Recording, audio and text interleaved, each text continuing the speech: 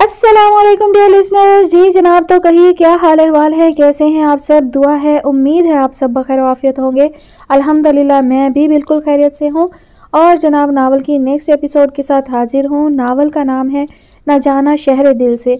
और राइटर है अंजुम अंसार। किस्त नंबर दो। एक शाम मैं फुप्पो के पास ऊपर था। फुप्पो मुझे देखकर हमेशा बहुत खुश हुआ करती थी। उस वक्त भी उन्होंने झटपट फ्रूट चाट बनाकर एक प्याला मुझे पकड़ाया। पुप्पो, मैं अभी खाना खा कर आया हूँ। मुझे मालूम है तुम हमेशा खाना खाकर ही ऊपर आते हो। मेरे हाथ की पकी हुई कोई चीज़ खाने को तुम्हारा दिल ही नहीं चाहता। नहीं पुप्पो, ऐसी तो कोई बात नहीं है। कल मैंने चिकन कढ़ाई बनाकर नीचे भेजी तो उसमें तुमने सौ ऐप निकाले और एक निवाला भी नहीं चखा। उन्होंने गिला किया। पुप्पो, मैंने तो चिकन कढ़ाई देखी तक नहीं, आप क्या बात कर रही हैं? मैंने हैरान होकर कहा। शम्मा, तुमने भी किसकी बात का यकीन कर लिया? अब दादी मुस्कुराते हुए कह रही थी और मैं अजीब खिफत ज़दा सा हो गया था। अम्मी का रवैया ऐसा क्यों था? ये मेरी समझ में ही नहीं आता था। पुप्पो फ्रूट चाट बहुत अच्छी है। अब मैं आपके हाथ की ग्रीन टी भी पीऊँगा। मैंने पुप्पो को खुश करने के लिए अज खुद कहा, जबकि ग्रीन टी पीने का मैं आदि भी नहीं था।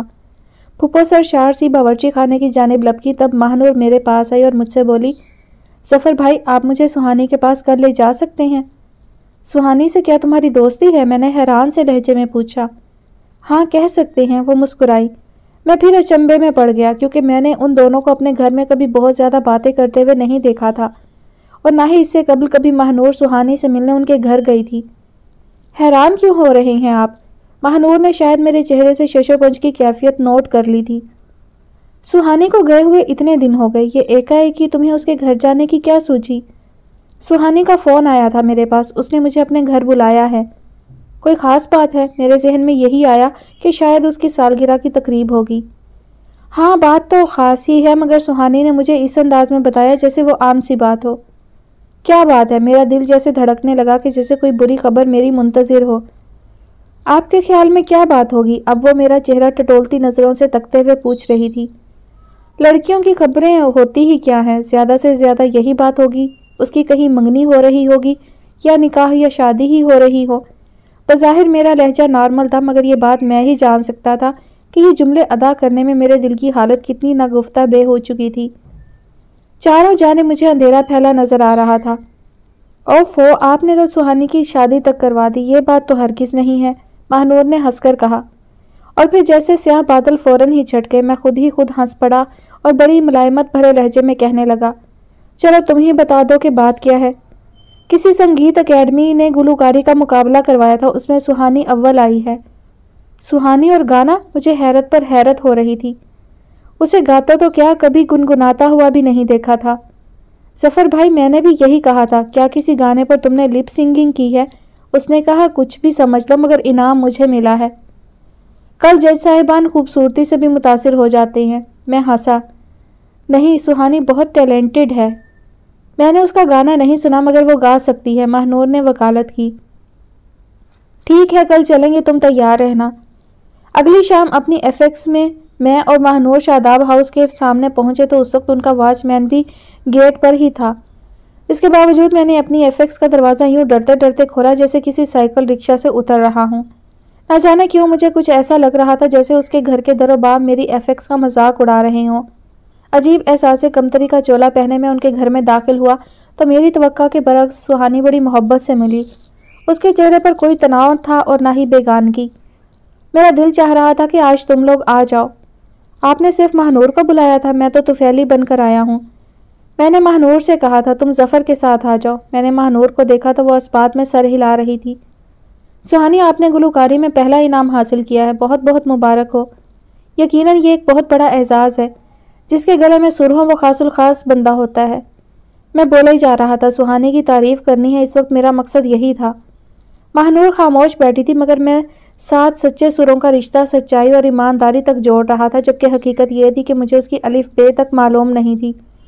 सुहानी मेरी तवील तकरीर सुनकर मुस्कुराई और बोली यह इनाम तो मुझे ताल्लुकात की वजह से मिल गया, जज साहिबान अब्बा के पुराने जानने वाले थे। ये लोग मुंबई में हमारे घर बड़ी बाकायदगी से आया करते थे, वरना मेरी आवाज़ इतनी अच्छी कहाँ है? तुम शायद हमसे मज़ाक कर रही हो। महानूर को यकीन ही नहीं आ रहा था कि दोस्ती के तुफैल इनामात भी मिल जाया करते हैं। नहीं, महानूर, मैं वाकई तुमसे सच कह रही हूँ। हाँ ये बात भी सच है कि मुझे गुलूकारी से बेहद लगाव है और मेरे अंदर एक गुलूकारा भी छुपी बैठी है। मेरी तो ये शदीद ख्वाहिश है कि किसी अच्छे उस्ताद से गुलूकारी के रमूज़ो अवकाफ सीखूं और अपनी आवाज़ से दुनिया में तहलका मचा दूँ। ये तो अच्छी बात है कि आप सीखना भी चाहती हैं, वरना इनाम और असनाद मिलने के बाद तो कोई सीखना ज़रूरी भी नहीं समझता। इनाम हासिल करने के बाद से मुझे वाकई बड़ी शर्मिंदगी हो रही है और मेरा दिल चाह रहा है कि जल्द से जल्द इस फ़न में ताक हो जाऊँ। इस शहर में बेशुमार उस्ताद हैं और बहुत से इदारे हैं, गुलकारी के रमूज सिखाते हैं। मैंने उसके शरीर जुल्फ़ों की लटों को देखकर कहा जो बार बार उसका मुँह चूम रही थी। आप किसी अच्छी सी अकेडमी का पता बता सकेंगे? नुदरत अकेडमी बहुत मरूफ है। इसकी शहर में कई ब्रांचेज हैं जिनमें ये सारे फ़न सिखाए जाते हैं। वहाँ के फ़ोन नंबर्स मैं एक दो दिन में पता करके आपको बता दूँगा। मुझे पक्का यकीन था आपको ये सारी मालूम होंगी। इन तमाम शौक़ के साथ अपनी पढ़ाई पर भी ध्यान दें। एफएससी करना कोई इतना आसान नहीं हुआ करता। जनाब, मैं पढ़ाई में बहुत अच्छी हूँ। मैट्रिक का इम्तहान मैंने ए वन ग्रेड से पास किया था। वहाँ भी क्या अज़ीज़ खालू की दोस्ती काम आई थी? मैंने अजराह मज़ाक कहा और वो बेख्तियार हंसती। ऐसी खूबसूरत खनकदार हँसी के मैं दीवाना वारों से देखता ही रह गया। महानूर ने टहुका दिया तो मुझे अजीब खिफत सी महसूस हुई। कुछ इस वजह से भी कि मेरे गैर मोहतात रवैये ने महानूर को भी आगाह कर दिया था। महानूर बेहद सीधे और दोस्ताना मिजाज रखने वाली लड़की थी। उसे शायद लम्हा भर में अंदाज़ा हो गया था कि मैं सुहानी को पसंद करता हूँ, मगर इस वक्त तो मैं भी सुहानी के इस मिजाज को बिल्कुल समझ नहीं पा रहा था। महानूर ने फ़ौरन सुहानी को अपने यहाँ आने की दावत दे डाली। ये तुम किस खुशी में बुला रही हो? उसका पूछना बचा था। खुशी और गम दोनों की मुश्तरका तकरीब भी समझ सकती हो, उसने हंसकर कहा। क्या मतलब? सुहानी ने उसे तीखी चितवनों से देखा। मतलब यही कि मैं इस माह अपने क्लास टेस्ट में फ़ेल हुई हूँ और जफ़र भाई इस सेमेस्टर में बहुत अच्छे नंबरों से पास हुए हैं। इसलिए तुम घर आकर मेरा हौसला बढ़ाओ और जफ़र भाई को मुबारकबाद दो। महानूर ने खुद से घड़कर कहा। दिलासा देना तो आसान है, मगर मुबारकबाद देना मुश्किल। मुबारकबाद दूँगी तो ये तोहफ़ा भी चाहेंगे। सुहानी का लहजा शरारत से भरपूर था। जिस तरह हम तुम्हारे लिए कोई तोहफा नहीं लेकर आए, इसी तरह तुम भी आ जाना, महानूर ने मुस्कुराकर कहा। जी नहीं, मैं बुरी बातों की नकाली नहीं करती, ये कहकर वो एक बार फिर हंस पड़ी। खाने की मेज़ पर बेहद अहतमाम किया गया था। शादाब खाला, अज़ीज़ खालू, कोई भी घर नहीं थे शायद। या इतने बड़े महल के किसी ऐसे कोने में थे जहाँ वो हमें दिखाई नहीं दे सकते थे। अम्मी, अबू और बाजी किसी के यहाँ गए हुए हैं और सिकंदर भाई ऑफ़िस से अभी आए नहीं हैं। उसने हमारी खोजती हुई नज़रों को देख कर कहा, तुम नहीं गई उस तकरीब में? महानूर ने पूछा। बस मेरा दिल ही नहीं चाहा। खाना हल्की फुल्की बातचीत के दौरान में खाया। फिर हम लोग अपने अपने कॉफ़ी के मग लेकर दोबारा लाउंज में आकर बैठ गए। सुहानी मेरे एन मुकाबिल बैठी थी और मुसलसल मुझसे बातें किए जा रही थी।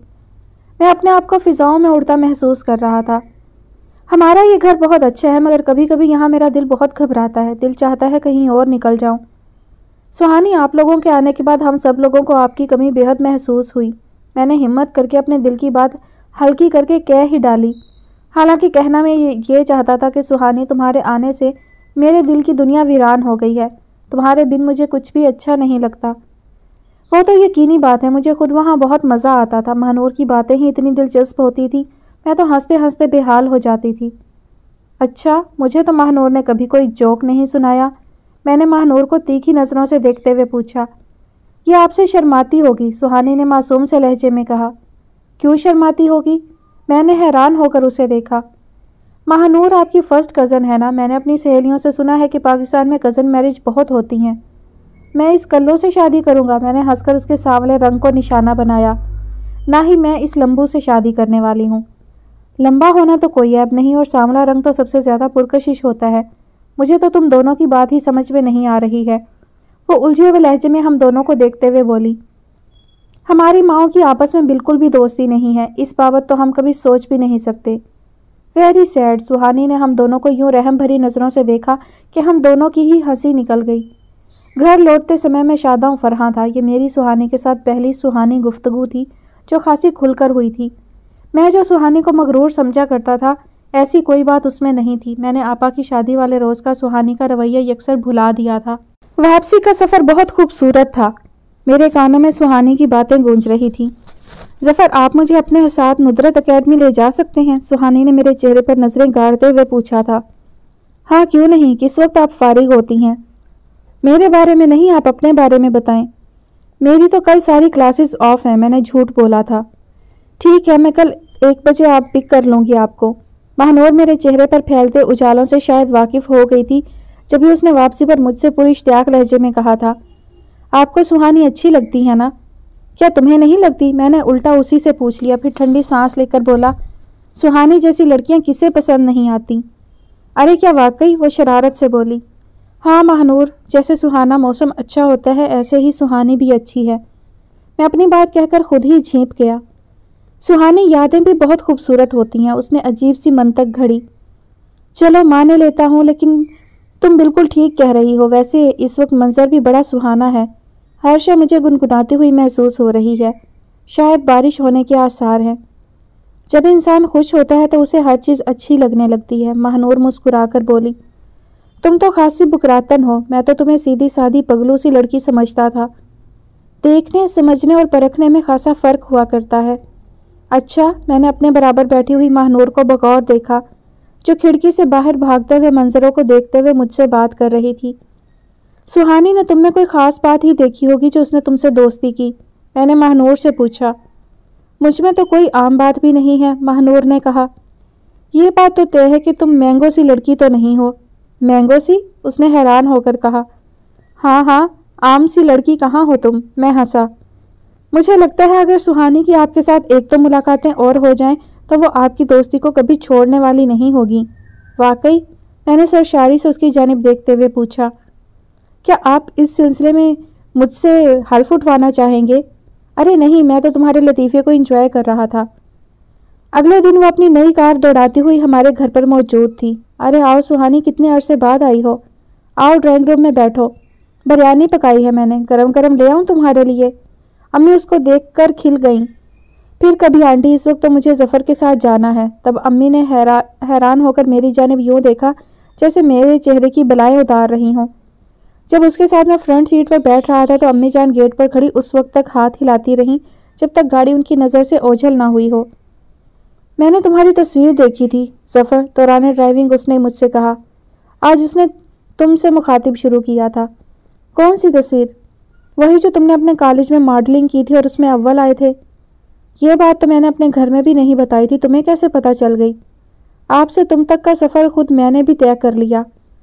जब अखबार में न्यूज़ लगेगी, तस्वीरें छपेंगी तो लोगों को आँखें बंद कर लेनी चाहिए क्या?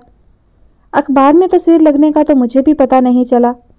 मेरे पास कटिंग है, देखना चाहो तो घर आ जाना। और मैं उसकी इस बात पर उसे देखने लगा। हैरान मत हो, मॉडलिंग का शौक मुझे भी है, इसलिए ऐसी न्यूज़ में ढूंढ ढूंढ कर पढ़ती हूँ। सुहानी, क्या तुमने कभी मॉडलिंग की है? हाँ कॉलेज में एक आध मरतबा कर चुकी हूँ और उसका रिस्पॉन्स भी बहुत अच्छा मिला है। मैं कोई प्रोफेशनल मॉडल नहीं हूँ, मेरी मॉडलिंग तो इतफाकिया हो गई। कॉलेज में एक बुटीक वाले आ गए थे और उन्हें अपने तैयार करदा कुर्तों की मॉडलिंग के लिए मैं पसंद आ गया। मुझे कुछ कुछ अंदाज़ा हो गया था, वैसे तुम पर कुर्ते बहुत सूट करते हैं, उसने मुस्कुरा कर कहा। इससे पहले कि मैं बेहोश होकर उसी के ऊपर लुढ़क जाता, गाड़ी अकेडमी के गेट पर रुक चुकी थी। ज़फ़र, क्या तुम तो मेरे साथ अंदर नहीं चलोगे? वो गाड़ी से उतरकर मुझसे पूछ रही थी। मैं उसे क्या बताता कि मैं तो अपनी सुदबुद ही खो बैठा हूँ? मुझे तो ये भी मालूम तक नहीं हुआ कि वो गाड़ी से कब की उतर चुकी है। हम दोनों अंदर चले गए। वहाँ म्यूज़िक क्लासेस में एडमिशन और फ़ीस से मुतालिक बातें हुई। सुहानी ने फॉर्म पुर करके एडमिशन फ़ीस के साथ उसी वक्त जमा करवा दिया। अकेडमी का एक राउंड लेकर जब हम बाहर आए तो इसी काम में सिर्फ़ बीस मिनट सर्फ हुए। अब क्या प्रोग्राम है तुम्हारा? वो मुझसे पूछ रही थी। वो सब कुछ जो मैं चाहता था, वो आज खुद हो रहा था। कहीं कोई जूस वूस पीते हैं, मैंने अपनी जेब में सो के नोट को महसूस करते हुए कहा, मुझे तो सख्त भूख लग रही है, चलो मैरियट में खाना खा लेते हैं। वहाँ फिर सही, साथ ही मेरे चेहरे पर पसीने के नन्हे नन्हे से कतरे उभर आए। अगर उसने जिद कर ली तो मैं क्या करूँगा? हाथ की घड़ी की भी इतनी कीमत नहीं है। आज का लंच मेरी तरफ़ से होगा, उसने गाड़ी स्टार्ट करते हुए कहा। वो किस खुशी में? मैंने अकेडमी में दाखिला जो लिया है। जब पास कर लेती तो दावत देती। मैं पास या फेल के बारे में नहीं सोचा करती, बस मुझे वहाँ जाना अच्छा लगेगा। यही सोच मेरे लिए बेहद अहम है। लंच करने के बाद जब उसने मुझे घर ड्रॉप किया तो अम्मी मुझसे ऐसे ताबड़तोड़ सवाल कर रही थी, जैसे कोई लड़का मंगनी के बाद अपनी मंगेतर के साथ पहली मरतबा अकेला कहीं घूम कर आया हो। और उसके घर वाले उस लड़की के ख्याल का अंदाज़ा लगाना चाहते हों। वो क्या कह रही थी? वो कोई सातवीं मरतबा मुझसे पूछ रही थी। कुछ भी नहीं कह रही थी। अब ये तो नहीं हो सकता कि वो तुझसे कुछ बोली ही ना हो। वो अकेडमी में एडमिशन लेने की वजह से मुझे लेकर गई थी। ज़ाहिर है उसी के मुतालिक बातें कर रही थी। इतने बड़े शहर में तेरे अलावा उसे कोई नहीं मिला जो उसे अकेडमी लेकर जाता। हाँ इतफाकन उससे, उसने मुझसे पूछा और इतफाक ही से मुझे मालूम भी था और बेटा जी, ऐसे ही इतफाक़ात ज़िंदगी को खूबसूरत बना दिया करते हैं। अम्मी ने मेरी बात काटते हुए बड़े माहिराना अंदाज में कहा था। मैं समझा नहीं, अम्मी को यूँ मुस्कुराता देखकर मैं अजीब खिसिया सा गया। मुझे तो लगता है सुहानी तुम पर मर मिटी है।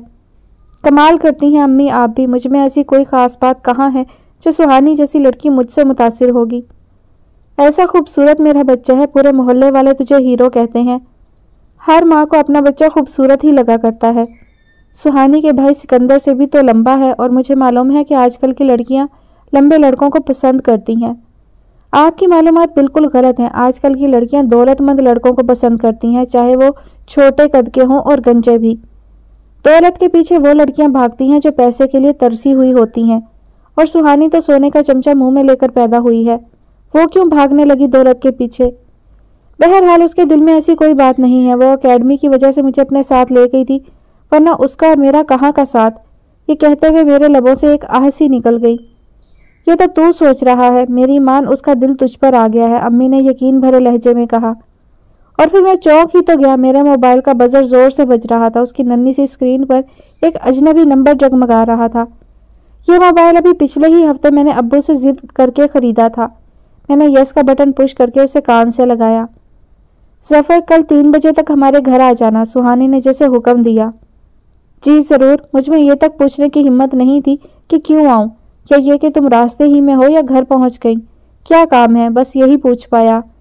वो मेरे सवाल को सुनी अनसुनी करते हुए कहने लगी, तुम हैरान हो रहे हो कि तुम्हारा नंबर मेरे पास कैसे आया?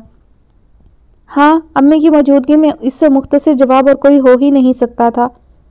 महानूर से लिया था मैंने, उसने चहकते हुए बताया। अच्छा फिर आ रहे हो ना कल? जी ज़रूर किसका फ़ोन था? अम्मी शायद मेरे चेहरे पर फैले मुसरतों के उजाले देखकर कुछ खोजने की फ़िक्र में थी। एक दोस्त का था, बुला रहा है कल मुझे। तेरे सारे लफंगे दोस्तों के पास हु हु ही ही करने के सिवा कोई दूसरा काम नहीं है?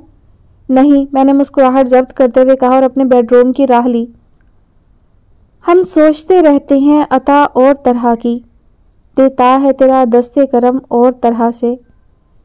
गर्मी की शिद्दत जोरों पर थी। लू के थपेड़े अलहदा चल रहे थे। शहला स्कूल से आई तो वो पसीने से शराबूर थी।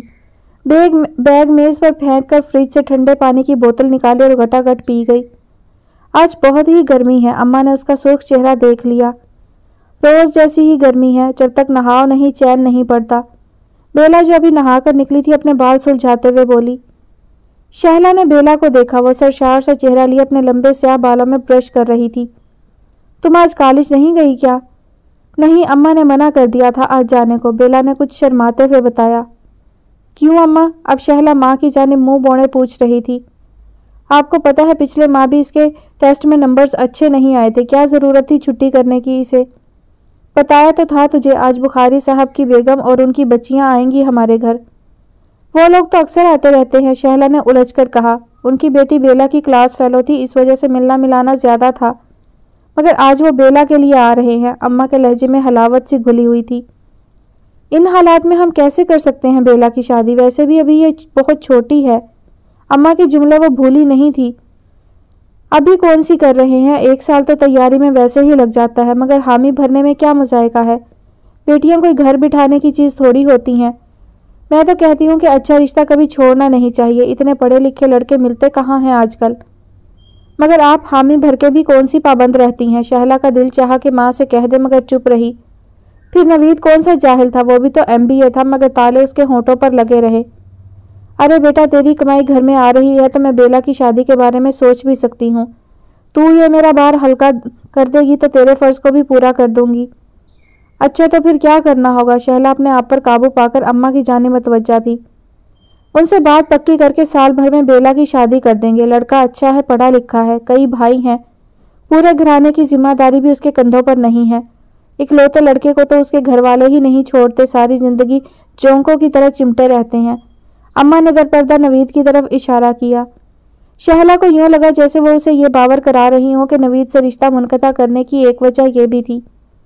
ये सब बेकार की बातें हैं। लड़की की किस्मत अच्छी हो तो वो हर जगह खुश रहती है। और अगर किस्मत खराब हो तो खुशियाँ उससे दूर भागती रहती हैं। शहला ने धीमे से लहजे में कहा, अरे भाई, खाना नहीं खाओगी, शाम के इंतज़ाम अलहदा करने हैं। अम्मा उसकी बात अनसुनी करके उठ गईं। शाम को बुखारी साहब की फैमिली लद्दी फंदी आई थी। मिठाई और फलों के टोकरों के साथ जोड़ा और अंगूठी भी ले आए थे। अरे, इतने तकल्लफ की क्या ज़रूरत थी? मैंने तो कहा था, आप आकर शगुन कर दीजिए। अम्मा निहाल होते हुए कह रही थी, हम शगुन ही तो करने आए हैं। पहली पहली बहू है, हमारे भी दिल में अरमान है। हम इन्हें ज़रूर पूरा करेंगे। उस शब खाने पर खूब अहतमाम किया गया था। सास नंदों को जोड़े अलहदा दिए गए थे।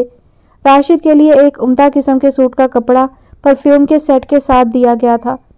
मगर जब चलते वक्त उन्होंने ये कहा कि आइंदा हफ़्ते आप लोग राशिद को अंगूठी पहनाने आ जाइए तो शहला परेशान सी हो गई। वो पहले ही माँ की तरफ़ से की गई इस किस्म की तैयारी से बेखबर थी। कुछ घबरा कर बोली, हम लोगों के यहाँ मंगनी नहीं होती है, बस आपने ये रस्म कर दी, इतना ही काफ़ी है। शहला ने मिसिस बुखारी से रसान भरे लहजे में कहा, नहीं भाई, मेरे पहले पहले बच्चे की शादी हो रही है। तुम लोग इसको अंगूठी पहनाने नहीं आओगे तो उसका दिल बुझकर रह जाएगा। मगर हमारे यहाँ हर काम में सादगी को मलहूज रखा जाता है। अरे, इसकी बातों का ख्याल ना करें ये तो बच्ची है, इसे क्या पता? आप बेफिक्र रहें। हम लोग अगले हफ़्ते राशिद को अंगूठी पहनाने आ रहे हैं। अम्मा ने उसकी बात काटते हुए कहा। जब वो लोग चले गए तो अम्मा ने उसे समझाते हुए कहा, समझाने वालों से यूँ दो टोक नहीं बोला जाता। वैसे भी वो लालची सी औरत है, उसे हम शादी से पहले इतना हलक तक ठुसाएँगे कि वो हमारे घर से अपने घर जाए तो उल्टियाँ करती हुई जाए और शादी के बाद हम उन्हें पानी को भी नहीं पूछेंगे। अम्मा, ये कोई अच्छी बात थोड़ी है मियाना रवि से चलना चाहिए। अब वक्त के हिसाब से चलना पड़ता है, वो दौर दूसरा था जब लड़की वाले दबकर रहा करते थे। लड़के वालों की गलत बातों पर भी रजामंदी में सर हिलाते थे।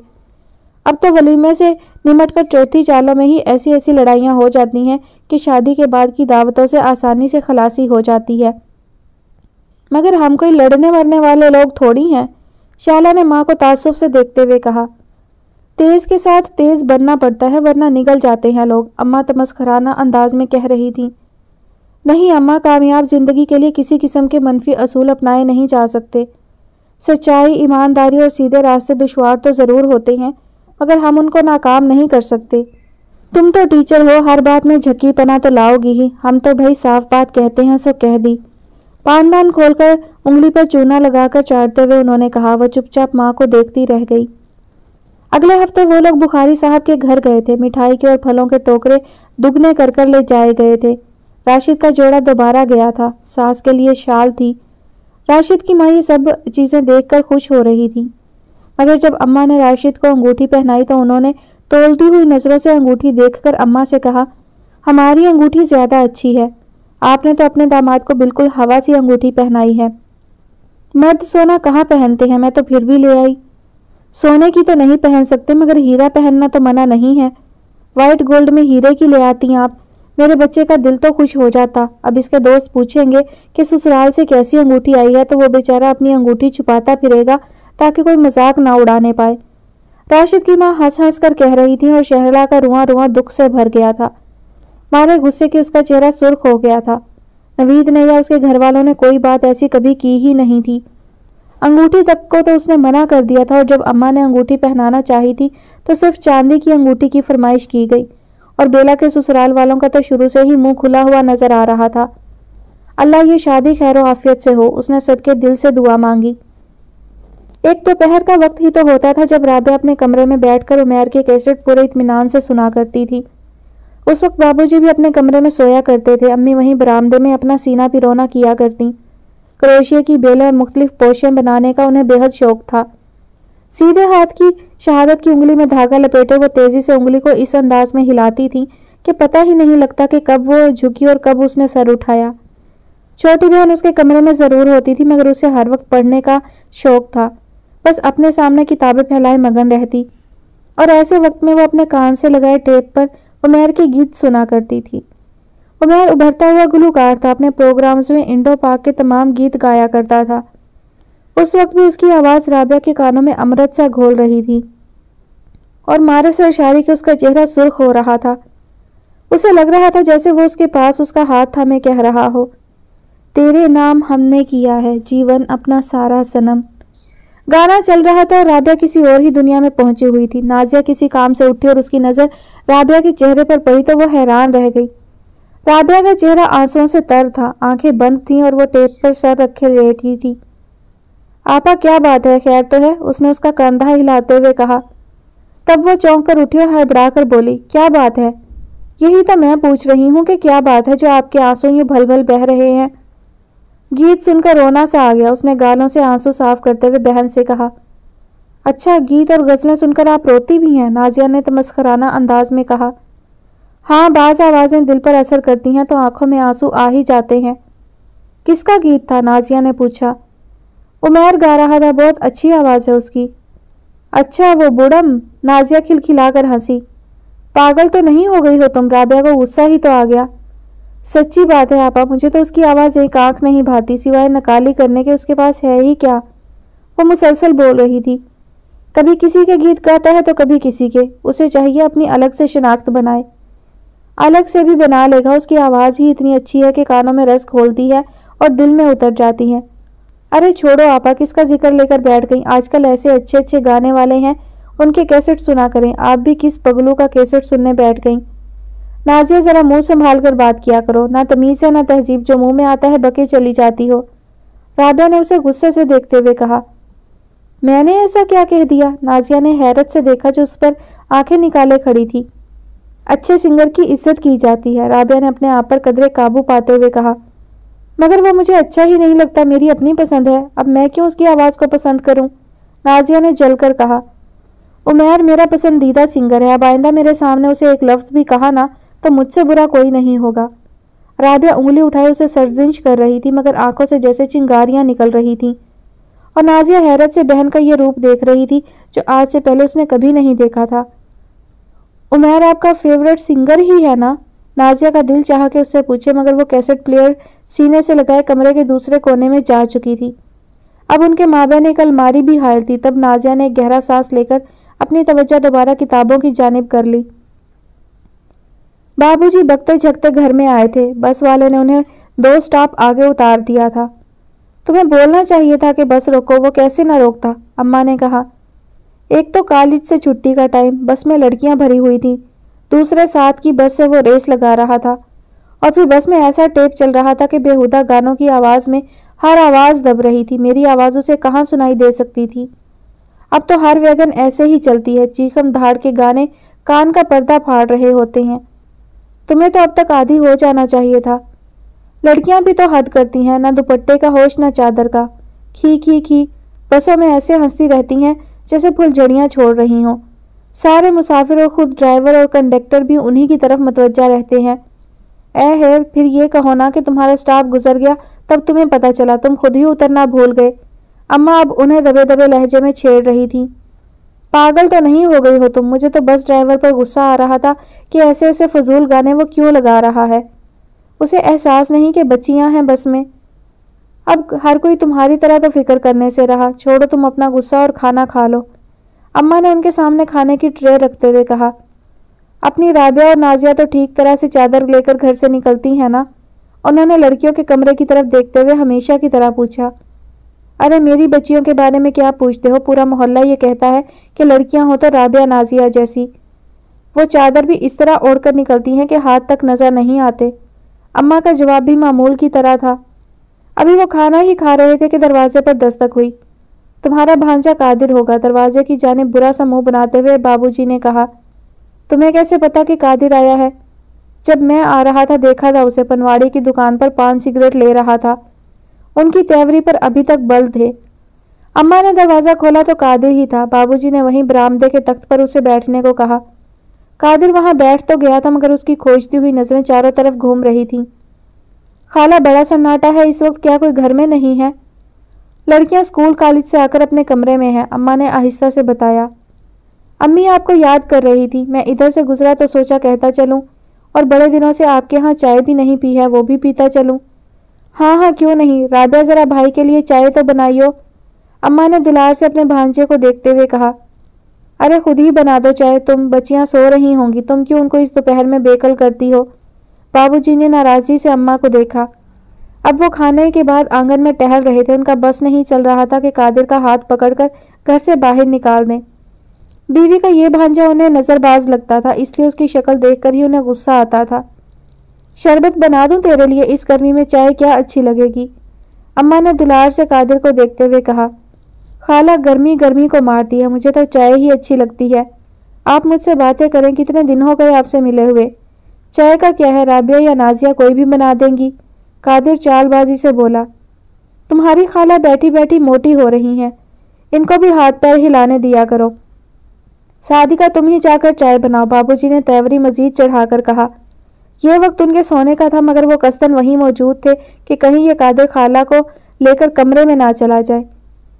अखर लहजे पर कादिर ने एक नज़र खालू को देखा और कहा, खाला, इस वक्त तो तुम ज़रूरी काम से जाना है, चाय का क्या है, फिर कभी पी लूँगा, बस आपकी मोहब्बत में चला आया, वरना इस भरी दोपहर तो में कोई आने का टाइम थोड़ी है। अरे वाह, जब दिल चाहे आ जाया कर मेरे लाल तेरे लिए कोई वक्त की पाबंदी है क्या? खाला ने लाड से अपने भांजे को देखा। अच्छा खाला, अब मैं चलूँगा। कादिर ने बखूबी खालू के चेहरे से गर्मी का अंदाज़ा कर लिया था। वह सलाम करता हुआ चला गया और बाबूजी ने गुस्से से थूक दिया। कमीना कहीं का, लड़कियों के चक्कर में आता है। जैसे मैं समझूँगा नहीं, पागल समझता है दूसरे को। बाबूजी जेरे लब्बड़ बढ़ा रहे थे और अम्मा बैठी अपने भांजे के गुन गा रही थी। ऐसी मोहब्बत करता है मेरा बच्चा, चार दिन उसके घर ना जाऊँ तो तबीयत पूछने घर आ जाता है। किसके पास आजकल इतना वक्त है किसी को पूछने का? मगर कादिर को देखो, गाहे बगाहे मुझे देखने आ जाता है। कहाँ मिलते हैं ऐसे लड़के? बड़ा हीरा है। अल्लाह इसे सलामत रखे। हड हराम है वो, काम का ना काज का, दुश्मन अनाज का। खाने पीने के चक्कर में इधर उधर घूमता रहता है। बाबूजी ने गुस्से से कहा ए लो, तुम्हें क्या पता कितना काम करता है? वो दर्जी की दुकान खोली है उसने। अभी चली नहीं है, मगर जब चलेगी तो सर उठाने की फुर्सत नहीं मिलेगी उसे। अम्मा उसकी तारीफों में मगन थी।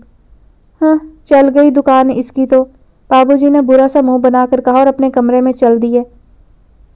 फ़ोन की घंटी मुसलसल बज रही थी। राबिया जो शाम को बाहर आँगन की धुलाई कर रही थी, नल बंद करके कमरे में आई और लपक कर रिसीवर उठा लिया। दूसरी जानब उसके कॉलेज की दोस्त शहली थी। खुदा का शुक्र है कि तुम्हारा फ़ोन तो मिला, कब से इंगेज टोन सुनाई दे रही थी। वो मैंने रिसीवर उठाकर नीचे रख दिया था। राबिया ने सरगोशियाना लहजे में कहा वो क्यों भला? अब उसके हैरान होने की बारी थी। बाबूजी नाराज़ होते हैं और तफ्तीश अलहदा शुरू हो जाती है। किसका फ़ोन आया है? क्यों आया है? किस लिए आया है? अब कहाँ तक उनको इतमान दिलाया जाए कि मेरी सहेलियाँ बस ऐसे ही फ़ोन करती रहती हैं? ऐसे ही तो फ़ोन नहीं किया है, बड़ी ख़ास बात है। और तेरे लिए तो बहुत अहम बात है। क्या बात है? जल्दी से बता ना, राबिया के तो हाथ पैर ही फूल गए। शायद किसी टेस्ट का रिज़ल्ट जिसमें वो फेल हो गई हो। आज वो कॉलेज नहीं गई थी तो पहली बात उसके जहन में यही आई। सुन, कल फिर कंसर्ट हो रहा है, उमेर आएगा तुम्हें लाजमी चलना है हमारे साथ। मैंने छः पास हासिल कर लिए हैं, उसने फ़करिया अंदाज में बताया, जिसमें सरशारी भी झलक रही थी। मैं कहाँ जा सकूँगी? वो रुंधे हुए लहजे में बोली, मेरी मंगनी में तो तुम आ रही हो ना? वो हँसी, तुम्हारी मंगनी में? उसने हैरत से पूछा, सालगिरह में तो आने की तुम्हें इजाज़त नहीं मिली थी, अब मजबूरी है कि मंगनी करवाना पड़ रही है। कि आखिर तुम्हें भी तो कंसर्ट में ले जाना है। तुम्हारी खातिर यह सब कुछ तो मुझे करना ही होगा, क्या समझी वो फिर हँसी। हाँ मंगनी में जाने की इजाज़त तो शायद मिल जाएगी, राबिया जिसे अपने आप से बोली। शायद की बात मत करो, यकीनन मिलेगी, ज़रा खाला जान को तो बुलाओ, मैं उनसे बात करती हूँ। इस वक्त तो बाबूजी घर पर हैं, तुम दो घंटे बाद बात करना, काश वो इजाज़त दे दें। तुम कल के प्रोग्राम की तैयारी करो कि क्या पहनोगी, इजाज़त लेना मेरा काम है, ओके? शहली ने कहा बाबूजी को अपने कमरे से बाहर बरामदे में आता देखकर राबिया ने जल्दी से रिसीवर क्रेडल पर रख दिया, बल्कि उस पर कपड़ा तक ढांप दिया। राबिया, बेटा, क्या चाय नहीं मिलेगी? बाबूजी ने बाहर तख्त पर बैठते हुए आवाज़ लगाई। अभी लाई, वो तेज़ी से बावर्ची खाने में घुस गई और बर्क रफ्तारी से चाय बनाकर साथ आलू के कबाब भी तलकर बाबूजी के लिए ट्रे में रखकर ले आई। इसे कहते हैं सलीका, मजाल है कि कभी खाली चाय मुझे दे दे। बाबूजी उसे लाड से देखते हुए बोले ये मेरी तरबियत है जो मेरी बच्चियाँ इतनी हुनर वाली हैं, अम्मा ने फखरिया लहजे में कहा। उधर कमरे में राबिया कपड़ों की अलमारी खोले खड़ी इस सोच में गर्क थी कि कल कंसर्ट में क्या पहन कर जाए। अलमारी में रखा कोई भी सूट उसके म्यार पर पूरा नहीं उतर रहा था। अगरचे अम्मा से अभी शहली की बात नहीं हुई थी, मगर वो अपने तौर पर मुकम्मल तैयारी करना चाह रही थी। बाबूजी मगरिब की नमाज़ के लिए मस्जिद गए तो उसी वक्त शहली का फ़ोन आ गया। अम्मा भी वज़ू करने चली थी और जल्दी में थी। जब ही शैली से ज़्यादा बहस ना की और राबिया को उसकी मंगनी में भेजने की हामी भर ली। राबिया जो अम्मा की गुफ्तगु पर कान लगाए हुए थी, हाथ रोककर खड़ी हो गई। फ़ोन बंद होने के बाद अम्मा की इजाज़त पाकर वो निहाल हो गई और दोबारा अलमारी में कपड़े तलाश करने लगी। ये फेरोजी सूट उसने हाथ में लेकर बुरा सा मुँह बनाया।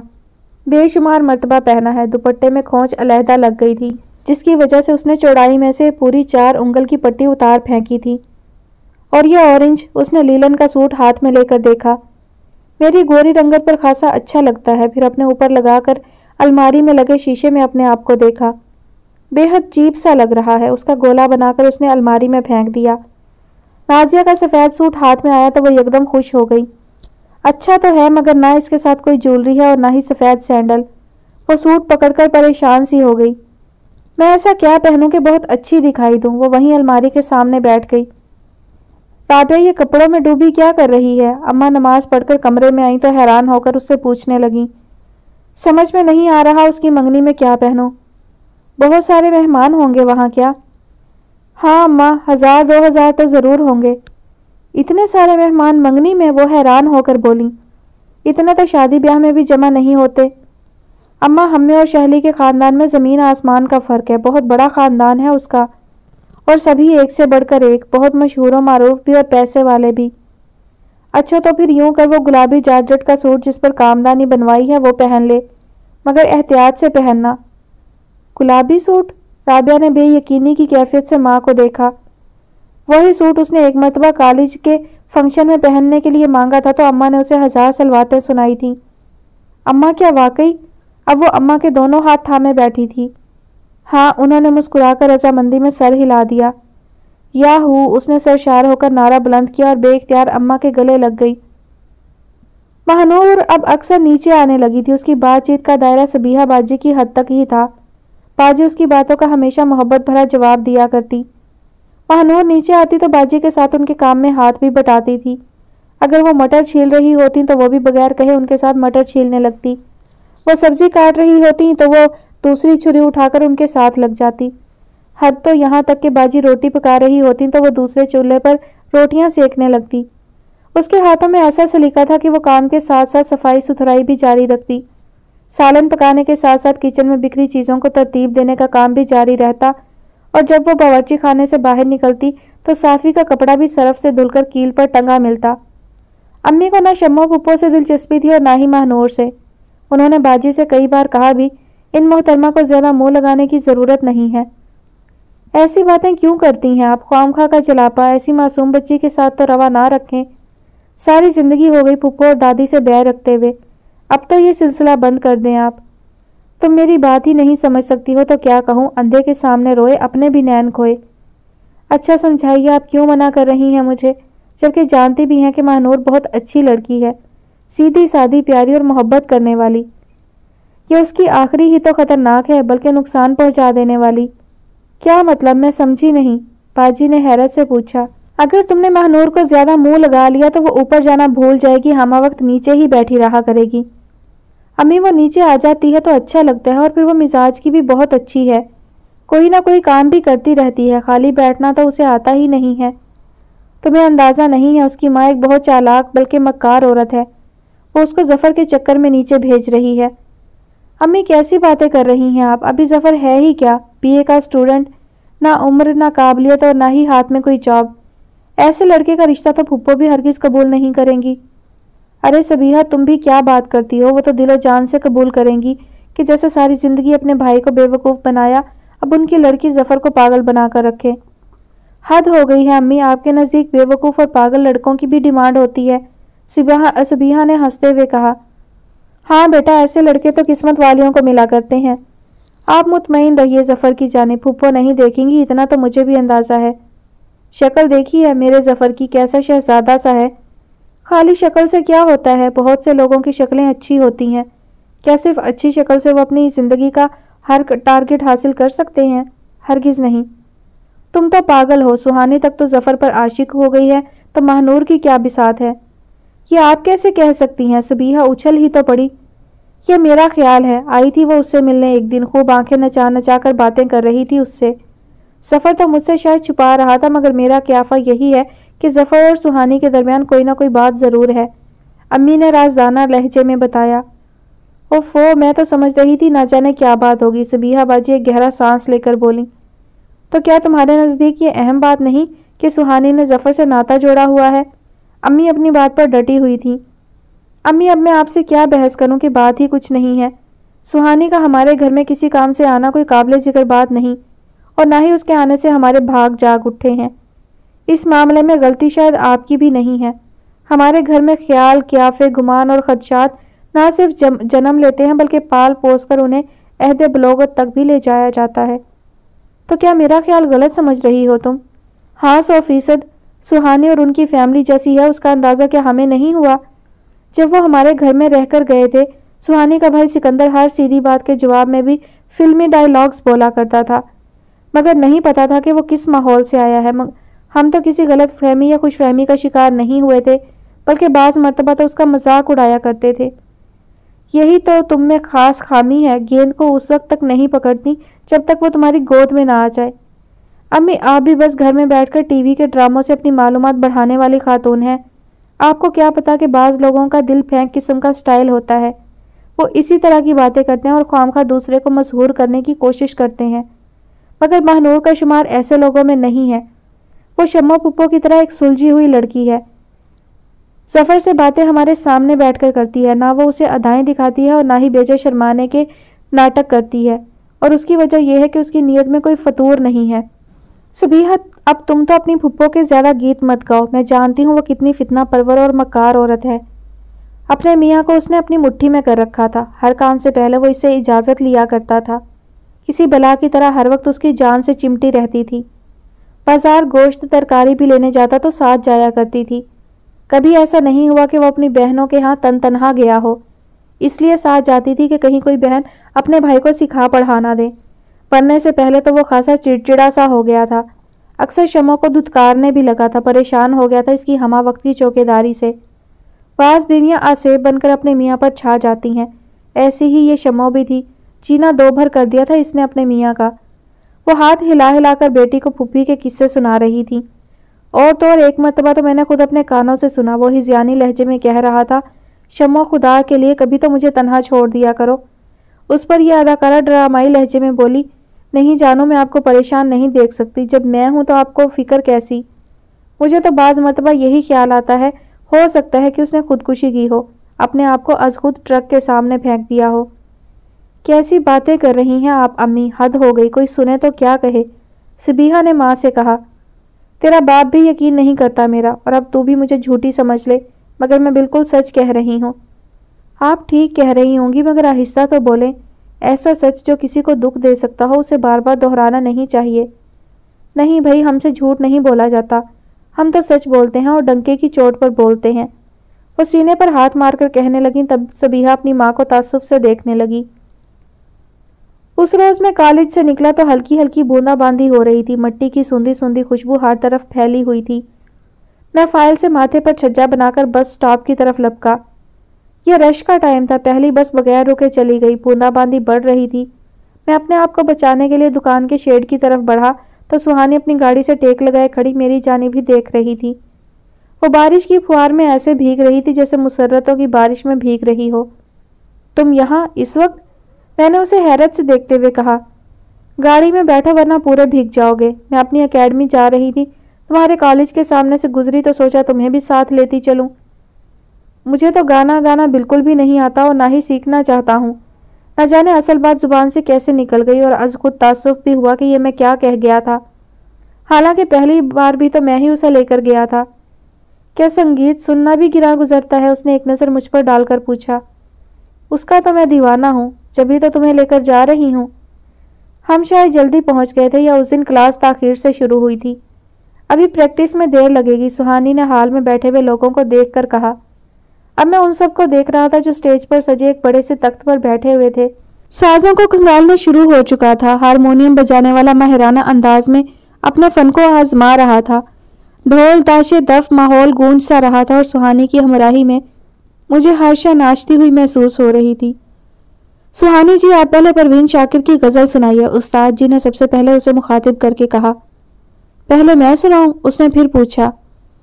हाँ पहले आप, कल भी आपकी बारी सबसे आखिर में आई थी। फराज की गज़ल आपने पूरी नहीं सुनाई। सुहानी उस्ताद के करीब दो जानू होकर बैठ गई और परवीन शाकिर की गज़ल उसके खूबसूरत लबों से अदा होने लगी। अपनी ही सदा सुनूं कहाँ तक? जंगल की हवा रहूँ कहाँ तक? दम घुटता है घर में, हब्स वो है। खुशबू के लिए रुकूं कहाँ तक? फिर आगे हवाएँ खोल देंगी। जख्म अपने रफू करूँ कहाँ तक?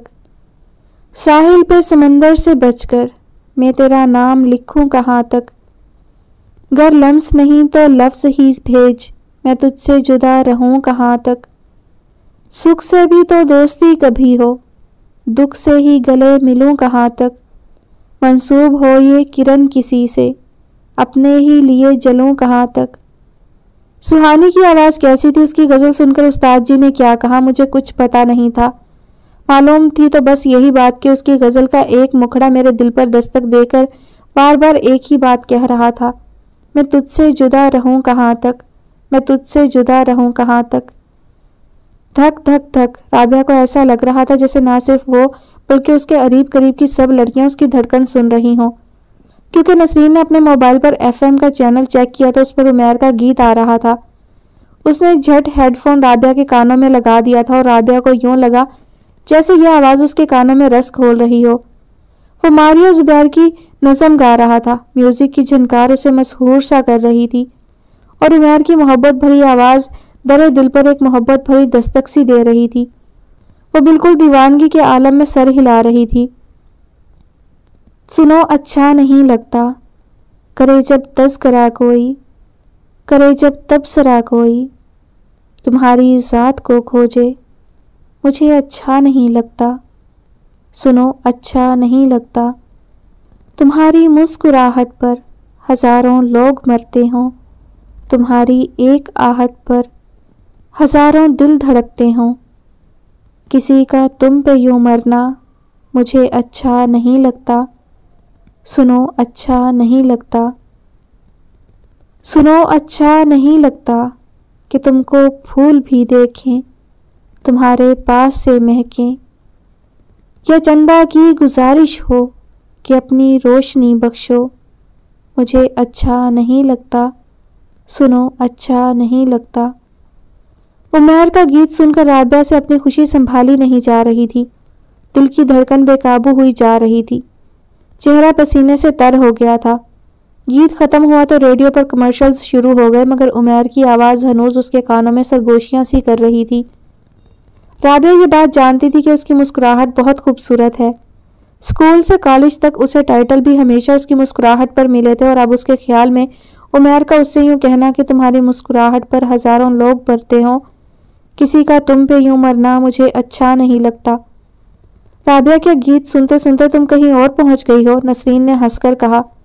मगर इस वक्त उसे किसी की आवाज़ नहीं आ रही थी। उमेर की आवाज़ ने उसके मन में एक फसून सा फूंक दिया था।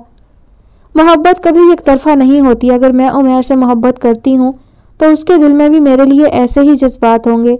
बल्कि वो तो मेरे लिए बहुत आगे बढ़ चुका होगा, जहाँ मेरी ज़ात उसके लिए अहम है। कमर्शल्स ख़त्म हो जाने के बाद एफएम पर उसका इंटरव्यू शुरू हो गया था। कंपेयर उससे शौक से लहजे में पूछ रहा था, क्या आप इस राज से पर्दा उठाएँगे कि ये मोहब्बत भरे गीत आप किसके लिए गाते हैं? सिर्फ़ उनके लिए जो मुझसे मोहब्बत करते हैं, उसने हंसकर कहा था आपसे तो बहुत सारे लोग मोहब्बत करते हैं, मगर कुछ लोग खासुल खास भी होते हैं। ऐसे लोगों की तादाद भी बहुत ज़्यादा होगी कि आप किसी का नाम लेना पसंद करेंगे। उसका नाम क्या लूँ, वो खुद ही जानती है।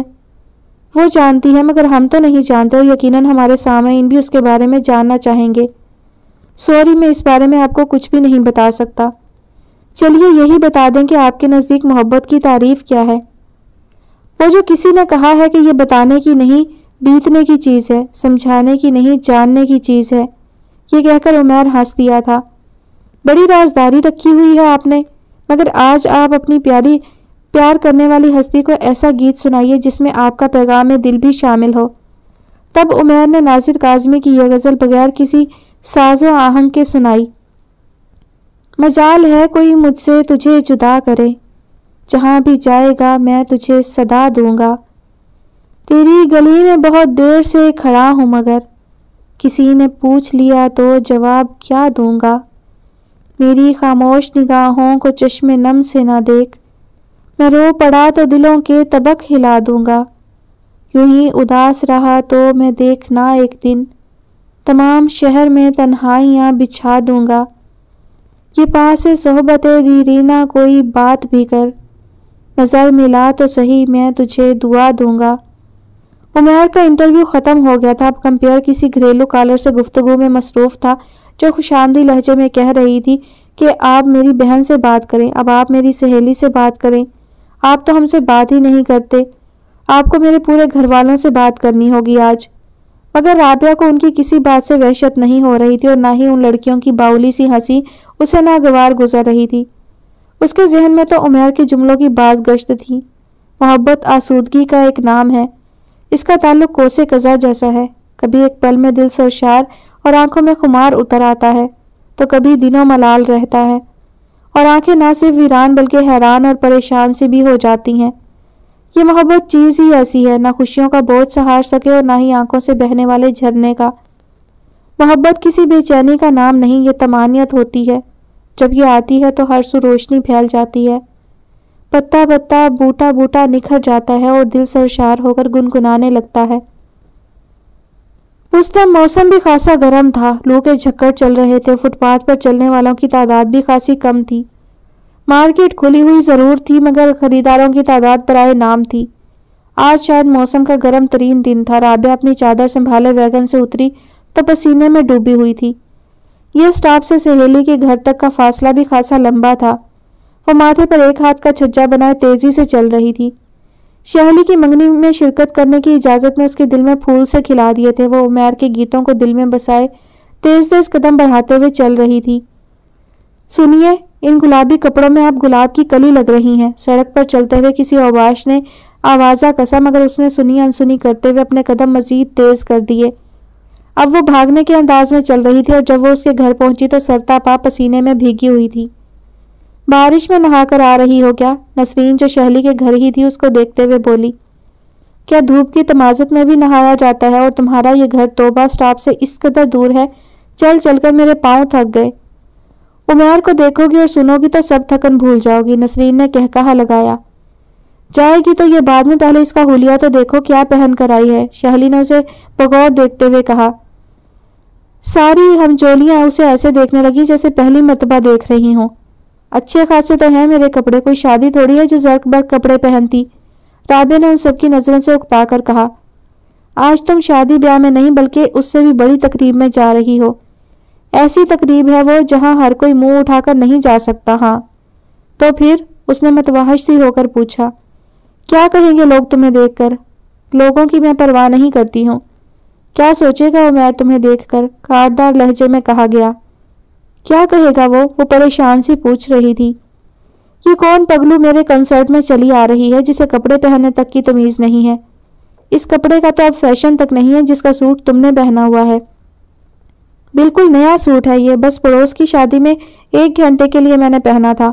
अम्मा से बहुत खुशामद की थी, तब उन्होंने दिया था। राबिया की से आकर बोली, पता नहीं तुम लोगों को क्यों नहीं अच्छा लग रहा है? तुम्हारे मोहल्ले की तकरीब के हिसाब से तो वाकई बेहतरीन सूट होगा, मगर ये वहाँ नहीं चलेगा।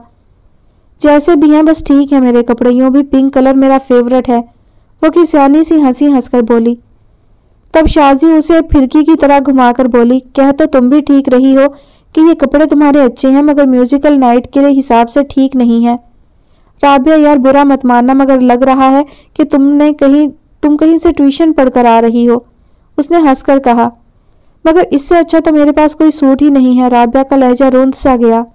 उस वक्त अपनी कम मायगी का एहसास उसे शिद्दत से हो रहा था।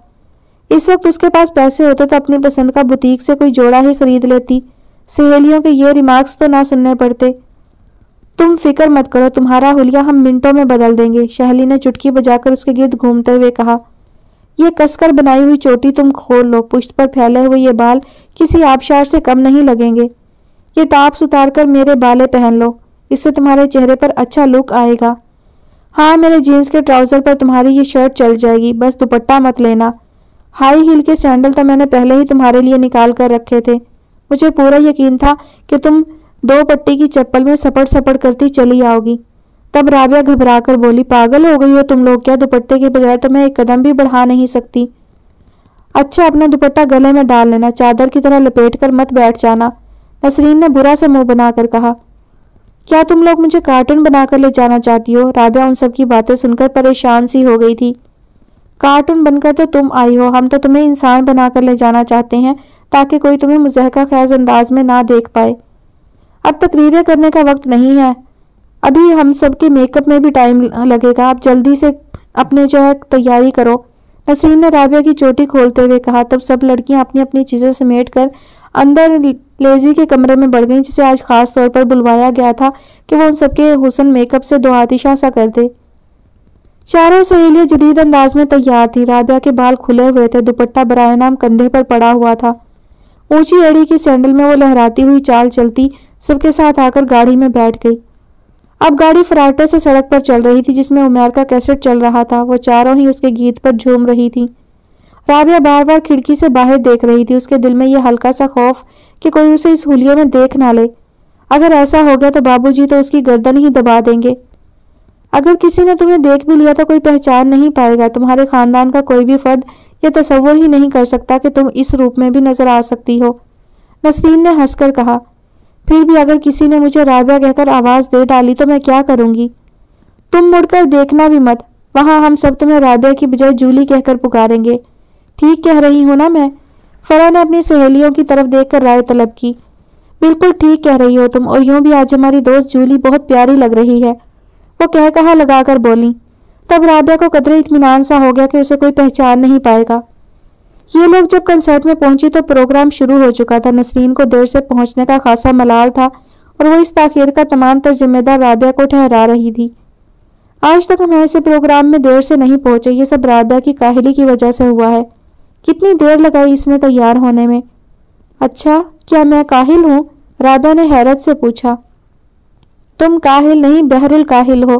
पूरे दो घंटे तुमने अपने बालों पर जाया किया और फिर वही हुआ जो तुम चाहती थी। अच्छा खासा बना हुआ जूड़ा तुमने खोल डाला और जब खोलना ही था तो बनवाया क्यों था? पैसे मुबासा करती हुई ये चारों लड़कियाँ कार्ड पर लिखे हुए नंबर के मुताबिक अपनी सीट पर बैठ गईं। उस वक्त उमेर का कोई गीत खत्म हुआ था और हाल तालियों से गूंज रहा था। वो सब तालियाँ बजाते हुए राबिया से कह रही थी कि ये तालियाँ उस गीत के लिए हैं जो हमने सुना ही नहीं और हमने क्यों नहीं सुना, इसकी वजह सिर्फ़ तुम हो। राबिया खिफत जदा सी बैठी थी, वो नहीं जानती थी कि ताखिर का सबब सिर्फ़ उसकी ज़ात ठहराई जाएगी। चंद लम्हा बाद जब उमेर की आवाज़ गूंजी तो वो बड़े ख्वाबनाक लहजे में कह रहा था, अब जो नगमा मैं आपको सुनाऊँगा, ये एक खास हस्ती के लिए है। तालियों की गूंज में वो मत भरी आवाज़ में बोलता रहा जी हाँ आप सब बिल्कुल सही समझे हैं। ये गीत एक प्यार करने वाले के नाम है और चूँकि ज़िंदगी का तमाम तर हुसन प्यार से ही वाबस्ता है, इसलिए ये गीत आप सबके ही नाम है। उसका ये जुमला सुनकर तमाम मेहमान पुरजोश अंदाज में तालियाँ बजा रहे थे। लड़कियाँ अपनी सीटों से उचक उचक कर हाथ लहरा रही थी। उमेर ने गीत शुरू किया तो इस गीत पर लड़कियाँ काबू से बाहर होना शुरू हो गईं। कई एक ने अपनी अपनी सीट पर खड़े होकर डांस करना शुरू कर दिया। उमेर भी हाथ हिला हिलाकर विश कर रहा था। म्यूज़िक का तेज शोर, सीटियों और उमेर की परफॉर्मेंस देखकर पूरा हाल बेकाबू हो रहा था। दूसरा गीत खासा मशहूर था, जैसे ही उसने शुरू किया सामयीन मजीद पुरजोश हो गए। उमेर यकीनन एक अच्छा परफॉर्मर था। सामयीन के दिल मुट्ठी में लेना उसे खूब आता था। अब वो हाथ हिला हिलाकर गा रहा था। मुझे तुमसे प्यार है हाँ तुमसे प्यार है। और उस समय राबिया को यूँ लग रहा था कि जैसे वो ये सब उसी से कह रहा है। सिर्फ़ उसी को देख रहा है और सिर्फ़ उसी से मुखातिब है। वो हाथ हिलाकर हंसता तो वो शर्मा सी जाती। वो उंगली का इशारा सामीन की जानब करता तो वो अपने दोनों हाथों से अपना चेहरा छुपा लेती। वो पुर मोहब्बत गीत का हर मुखड़ा सामीन की जानब इशारे करते हुए गा रहा था। उसके लबों पर मुस्कुराहट के फूल खिले हुए थे और आँखों में एक खुमार सा था। ये सब देखकर उस पर एक शहर सा छा गया और आलम बेखुदी में उसने अपने दोनों हाथों के प्याले में अपना चेहरा रख दिया और मबहूत होकर रह गई। तब उसे ऐसा लगा कि उस पूरे हाल में सिर्फ़ वो और उमेर हो और उमेर सिर्फ़ उसके लिए ही गा रहा हो। उसने हर मुखड़े पर वो कभी शर्मा रही थी और कभी महजूब सी हो रही थी। एक अजीब सा एहसास उस पर मुनकशिफ हो रहा था और वह अपने आप को हीरोइन समझ रही थी। ऐसा अनोखा मोहब्बत भरा एहसास उसने आज तक महसूस नहीं किया था। उसे यूँ लग रहा था जैसे उसके ख्वाबों को ज़िंदगी मिल गई हो। उमेर का गीत खत्म हुआ तो उसकी हथेलियाँ तालियाँ बजाते बजाते सुर्ख हो गईं। उस समय सरूर बख्शता म्यूज़िक बज रहा था और मारे सरशारी के वो मदहोश हुए जा रही थी। उसने आँखें बंद करके कुर्सी के हत्थे पर अपना सर टिका दिया। तब उसे ऐसा लगा कि उमैर स्टेज से उतरकर उसके पास आ खड़ा हुआ हो। फिर उसने उसका हाथ पकड़कर अपने साथ खड़ा कर लिया हो।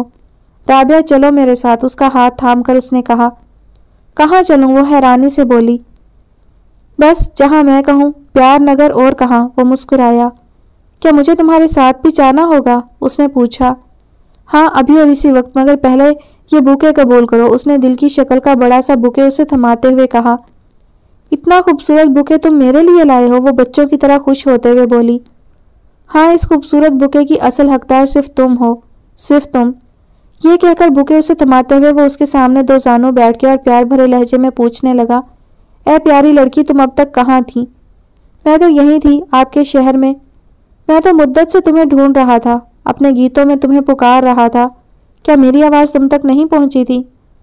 उमेर, आपकी आवाज़ ने ही तो मेरे दिल पर दस्तक दी थी जब ही तो मैं यहाँ तक चली आई हूँ। मगर इतनी देर से आई हो जब मैं आवाज़ें देते देते निढाल सा हो गया हूँ। मैं बहुत मजबूर थी, आज भी बड़ी मुश्किलों से आप तक पहुँची हूँ। क्या तुम जानती हो मैं सिर्फ़ तुम्हारे लिए गाता हूँ और मेरा हर नगमा तुम्हारे लिए है? हाँ मैं आगाह हूँ, आपके गीत सिर्फ़ और सिर्फ़ मेरे लिए हैं। अब तुम मेरे हर कंसर्ट में आया करोगी ना? अगर तुम ना आई तो तुम्हारे बिना मैं बिल्कुल भी नहीं गा सकूँगा। मैं अब आपका हर गीत सुनने आया करूँगी। आप मेरा इस बात का यकीन कर लें। सुनो रानी, तुम मेरी दुआ हो। अब कहीं खो मत जाना, वरना मैं गाना छोड़ दूँगा। मैंने कहा, ना, अब मैं कहीं नहीं जाऊँगी। वादा वो उसकी उंगलियाँ कलियों की तरह थाम कर अपनी आँखों से लगाते हुए बोला हाँ पक्का वादा। वो शर्मा कर धीरे से हंस दी मैं कैसे यकीन कर लूँ? प्लीज़ आप मेरी बात का यकीन कर लें, मैं अब कहीं नहीं जाऊँगी, यह वादा है मेरा। और वादा करने वाले कभी अपनी बात से नहीं फिरा करते। राबिया इल्तजाइया लहजे में मुसलसल बड़बड़ा रही थी। तब नसरीन उसे तकरीबन जोड़ते हुए बोली, राबिया, एक तो तुम गर्दन डाले सो गई या बड़बड़ाहट भी शुरू हो गई, या आखिर तुम कहाँ नहीं जाओगी, हमें भी तो पता चले? वो एक झटके से उठ गई और खोए खोए लहजे में बोली, मैं तो जाग रही हूँ, तुमसे किसने कह दिया मैं सो गई थी? और मैं कहाँ जा रही हूँ? तुम्हारे सामने तो बैठी हूँ। अब हम सबकी आँखों में धूल तो मत को अच्छी खासी सो रही थी। शहली ने हंसकर कहा, क्या ख्वाब में तुम्हारे बाबूजी तुम्हारी पिटाई कर रहे थे? शाजी ने मुस्कुराकर शहली को आँख मारी। नहीं तो राबिया ने खिसे आकर कहा, फिर तुम ऐसे क्यों कह रही थी कि मैं अब कहीं नहीं जाऊँगी? आप यकीन कर लें, मैं कहीं नहीं जाऊँगी। कौन कह रहा था? नसरीन ने उसकी नकल उतारते हुए कहा जी नहीं, मैं तो कुछ भी नहीं कह रही थी। अब वो घबराकर अपनी पेशानी से पसीना पहुँच रही थी। आज ये हमारे साथ पहली मरतबा आई है ना, इसीलिए घबरा रही है। नसरीन को बिलाखिर उस पर तर्स आ ही गया। ये उमर अब क्यों नहीं गा रहे? राबिया ने इधर उधर देखते हुए पूछा। वो इसलिए नहीं गा रहे कि अब प्रोग्राम खत्म हो चुका है। नसरीन को हँसी आ गई, मगर वो उसकी पुश्त पर हाथ मारते हुए बोली, राबिया, हद हो गई है बदजोकी की भी। उमर इतने अच्छे अच्छे गीत गाता रहा और तुम सोती रही। खाम खा ही तुम आई और आकर अपना वक्त भी बर्बाद किया। जी नहीं, मैं सब सुन रही थी, बस अभी अभी ऊँग आई तो तुम लोगों ने जगा दिया। हमारे साथ घर चलोगी या तुम्हें पहले छोड़े? हाल तकरीबन खाली हो चुका था और बातें करते करते ये लोग बाहर आ गई थी। पहले तुम मुझे घर छोड़ दो, उसने बैग में से बड़ी सी चादर निकालकर ओढ़ते हुए कहा। यहाँ तो मत लपेटो, ये लिबादा जब गाड़ी से उतरने लगो तब लपेट लेना, शैली ने उसे कोहनी मारते हुए कहा। अच्छा यार, ठीक है, वो उनको बुरा सा मुँह बनाए देखकर हंस पड़ी। कैसी नींद थी जो खत्म होने में नहीं आ रही थी, उसका दिल चाह रहा था कि वो यूँ ही आँखें बंद किए बिस्तर पर लेटी रहे। राबिया, बेटा, कब तक सोती रहोगी? उठ जाओ। अम्मा जब उसके कमरे में आई, उसको जगाना अपना फ़र्ज़ समझती। इतनी नींद आ रही है अम्मा, कभी तो दिल भर के सोने दिया करें। राबिया का लहजा छंझलाया हुआ था। ग्यारह बज रहे हैं, आधा दिन गुजर गया, अभी तक नींद ही पूरी नहीं हुई तुम्हारी।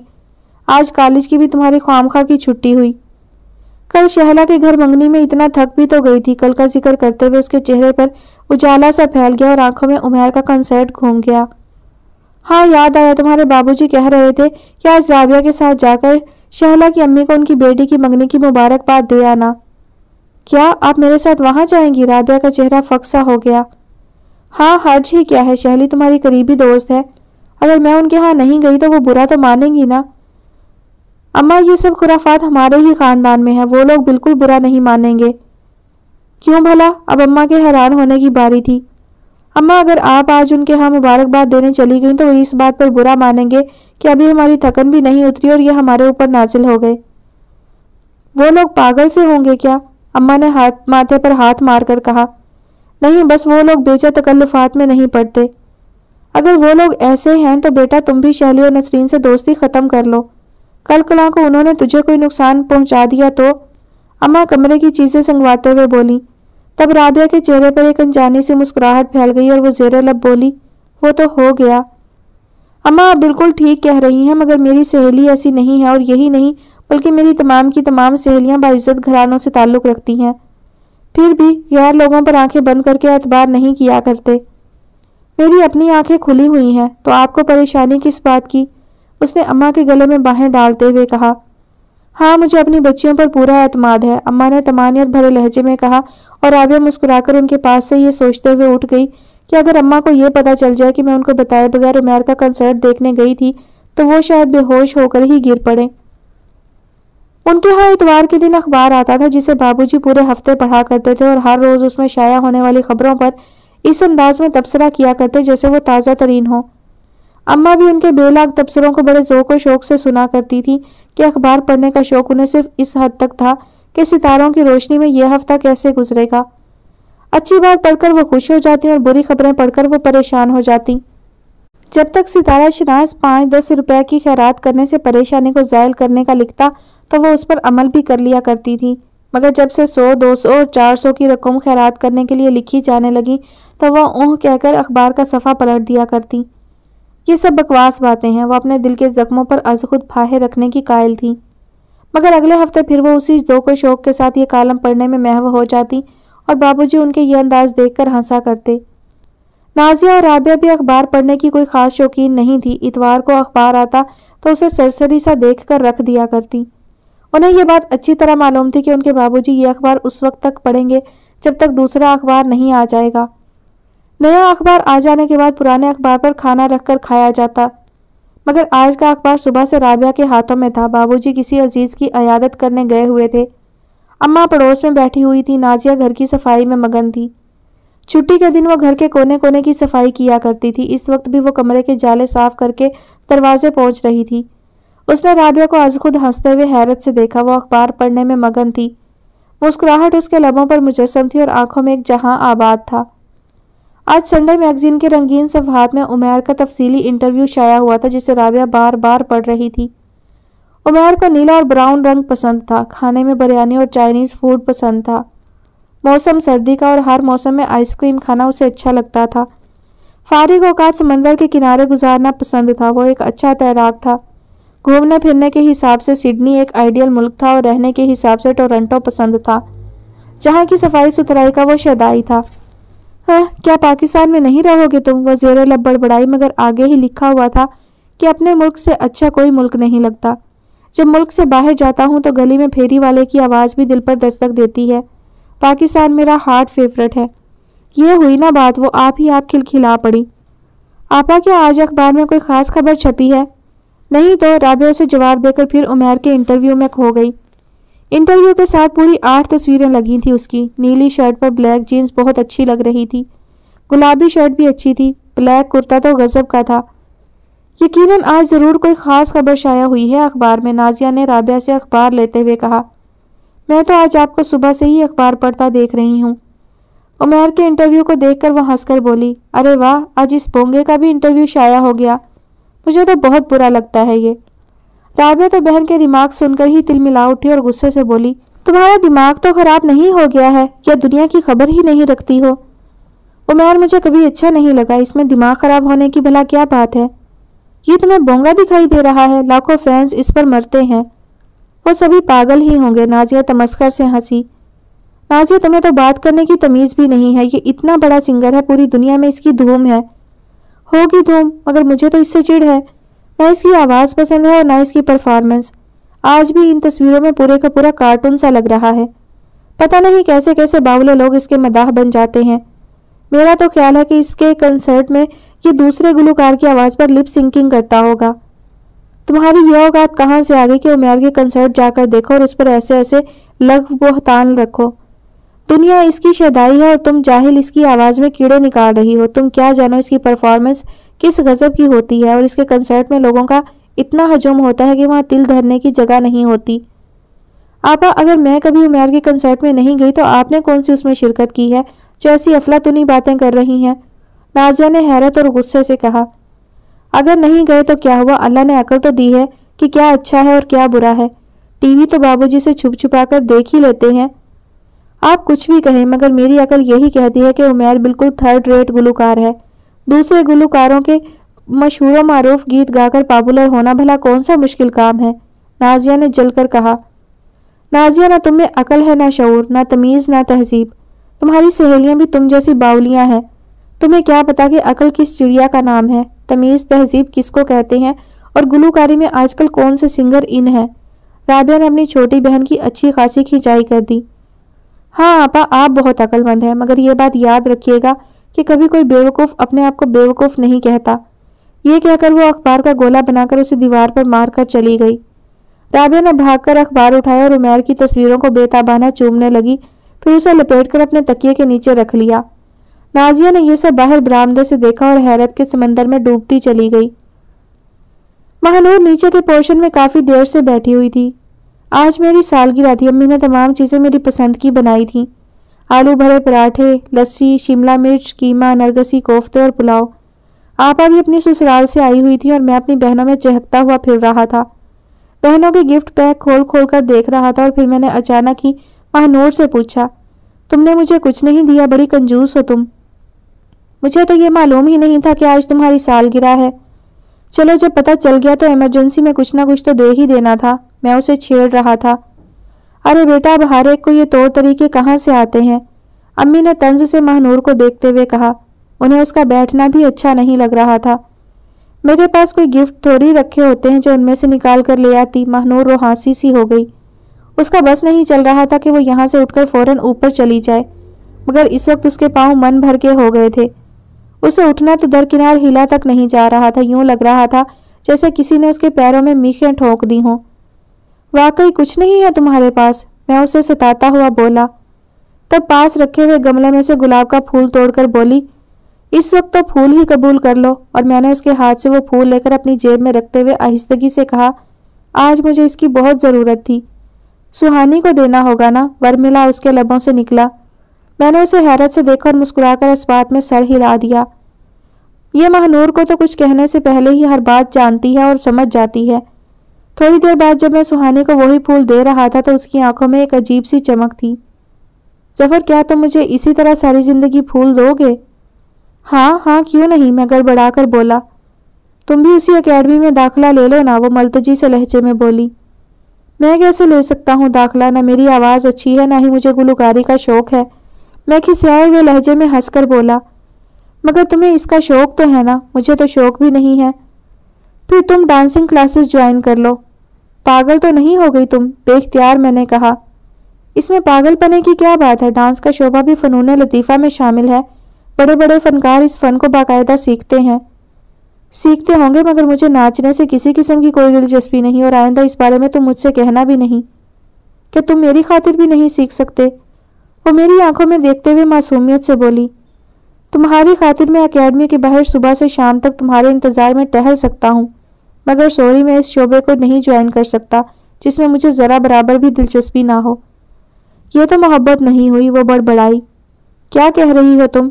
मैं हाथ बांधे टहलता देखकर परेशान होकर बोला, वो जेर लब मुसलसल बड़बड़ाए जा रही थी। कुछ नहीं, कुछ भी तो नहीं, और फिर वो खिलखिलाकर हंसती और मैं उसे ऐसी नज़रों से देखने लगा, जैसे उसकी बातों का मतलब मुझे ज़रा भी समझ में ना आया हो। वो वाकई अजीब सी थी, जिसका समझना मुश्किल तरीन काम था। पल में तोला और पल में माशा। एक मिनट में हैरान कर देती और दूसरे ही पल परेशान कर देने की भी कुदरत रखती थी। अज़ीज़ खालू नौकरों की खिंचाई करने में पेश पेश रहते थे। अक्सर सुबह होते ही वो बरसना शुरू हो जाते थे। इस दौरान तमाम नौकर कामों में जुट जाया करते थे। शादाब हाउस में खासी चहल पहल इस लिहाज से नज़र आ रही थी कि घर के सारे ही नौकर एक्टिव थे। लान की सफ़ाई सुथराई में माली लगा हुआ था। उसके साथ एक हेल्पर भी था। कार पोर्च रगड़ रगड़ कर धोया जा रहा था। बावर्ची खाने में कुक कई डिशेस बनाने में मशगूल था। हालाँकि अभी सुबह के आठ ही बजे थे।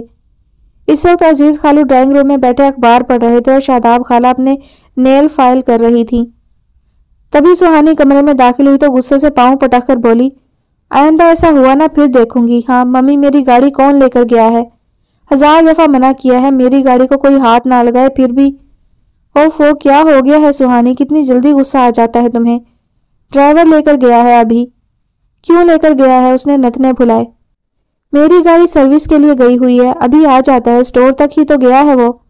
मगर मम्मी मुझे कॉलेज जाने के लिए देर हो रही है। मैं पाँच मिनट भी लेट हो जाऊँ तो डॉक्टर नहीं मुझे अपनी क्लास में नहीं आने देते। आज बेटा इतनी लेट जा रही हो। तुम्हारी क्लास तो आठ बजे शुरू हो जाती है। अज़ीज़ खालू ने घड़ी पर नज़र डालते हुए उससे कहा, मेरी क्लास आज लेट थी। हमारे कॉलेज में तीन दिन से एक सेमिनार चल रहा है। ऐसी ऐसी बुकराती बातें होती हैं कि मैं उसमें जाती ही नहीं। सुहानी ने बुरा सा मुँह बनाते हुए बाप को जवाब दिया। पता नहीं कहाँ मर गया ये रशीद। दो मिनट का काम था, इतनी देर हो गई, अभी तक आया नहीं। तुम यूँ करो, अपने सिकंदर भाई की गाड़ी ले जाओ।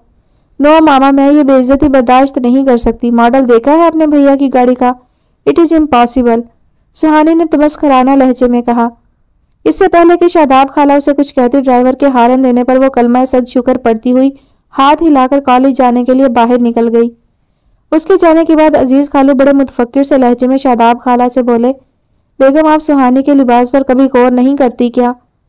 क्या गौर करना चाहिए मुझे? वो लफ्ज चबा चबाकर तमस्खर से बोली, मखलूत कॉलेजेस में पढ़ने वाली इस किस्म के कपड़े तो नहीं पहना करती जैसी हमारी सुहानी पहनती है। अज़ीज़, आप घर में रहते हैं, आपको क्या पता कि आजकल लड़कियाँ कैसे कैसे कपड़े पहनती हैं? अपनी बहू नादिया को देखो पढ़ी लिखी लड़की है, कैसे शाइस्ता अंदाज में रहती है। मैंने तो उसे कभी भी बेढंगे कपड़ों में नहीं देखा। अजीब शख्स हैं आप भी। फ़ैशन के बारे में आपको कुछ पता नहीं है और लगे हैं बातें बनाने और मुकाबला करने। भला सुहानी का नादिया से क्या मुकाबला है? वो नाक चढ़ाकर बोली और आँखों से गोया चश्मा माथे पर टिका लिया। क्यों? क्या नादिया लड़की नहीं है? वो मिडिल क्लास घराने की है और सुहानी ने आँख खोलकर हर चीज़ देखी है। उसने सिसक सिसक कर कोई चीज़ हासिल नहीं की है, जिसकी तरफ़ उसने नज़र भरकर देखा, हमने उसे दिलवा दी। और आप चले हैं मुकाबला करने उसका अपनी बहू के साथ। इसका मतलब यह है कि तुम सुहानी को समझाना भी नहीं चाहती। वो अपने चश्मे के शीशे पर फूंके मारते हुए बोले, समझाने वाली बात मैं उसे ज़रूर समझाऊँगी, मगर हर मामले में किसी के सर पर सवार होना मुझे पसंद नहीं। ठीक है भाई, जो दिल चाहे करो, माए ही बेटियों की तरबियत किया करती हैं। तुम नहीं करना चाहती तो मत करो। वो झिझलाते हुए उनके सामने से ही हट गए। उनको ज़्यादा देखकर शादाब खाला नखुवत से जेरे लब बड़बड़ाती रही। हाँ हर मामले में टांग अड़ाने की आदत जाती नहीं है। इनका तो ये दिल चाहता है कि मुझसे भी नौकरों की तरह डील करें। मेरी बेटी जैसा जामा जेब भी भला कोई दूसरा हो सकता है? हरगिज नहीं। कभी कोई बहाना, कभी कोई बहाना, मगर मतलब सबका एक है कि मैं अपने मैके में रहने के लिए ना जाऊँ। नादिया ने गुस्से में मुँह फुलाकर कहा नहीं यार, कोई ऐसी बात नहीं है। तुम जब दिल चाहे अपने घर जाकर रह सकती हो। कंप्यूटर पर काम करते हुए सिकंदर ने बीवी को मोहब्बत भरी नज़रों से देखते हुए कहा, नहीं, ये भी आपकी साजिशी बातें हैं। मेरे भाई को बाहर से आए आज पंद्रह दिन हो गए और मैं एक बार भी रहने के लिए नहीं गई। क्या सोचेगा मेरा भाई के दिल भर के बातें करने के लिए? मेरी बहन एक मरतबा भी नहीं आई। नादिया ने आँखों में आँसू भरते हुए कहा, यही सोचेगा कि बेचारा बहनोई उसके बगैर नहीं रह सकता, इसलिए अपने साथ लाता है और अपने साथ वापस ले जाता है। और यह सोचकर उसे खुशी भी होगी कि मेरी बहन अपने ससुराल पर कैसी छाई हुई है। अब यह मक्खन किसी और को लगाए, मुझे आज ही जाना है और हफ़्ते भर रहूँगी अपने भाई के पास। वहाँ जाकर एक टेलीफोन भी नहीं करूँगी। मैं पूरे हफ़्ते अपने भाई से बातें करूँगी और खबरदार जो आपने मुझे एक भी फ़ोन किया हो। ठीक है, मगर अभी तुम नहीं जा सकती शोखी भरे लहजे में उन्होंने होंठ दबाकर कहा। क्यों नहीं जा सकती? शादी की है आपसे मेरे वालदेन ने मुझे। फरोख्त तो नहीं किया है जो मुझे मैके भेजते हुए आप यूँ दस दस बहाने बनाते हैं। अब नादिया की आँखों से टप टप आँसू गिर रहे थे। सही कहते हैं लोग, अपने बराबर के लोगों में शादी होनी चाहिए। अगर बड़े लोगों में शादी हो जाए तो नाहक दोनों तरफ़ से दबाने की कोशिश करते हैं। मगर अब तो हम भी किसी से कम नहीं है। मेरा भाई भी बहुत कमा लाया है। अब वो भी यहाँ बिज़नेस करेगा। मेरी पूरी बात सुनी नहीं और लगी बातें बनाने।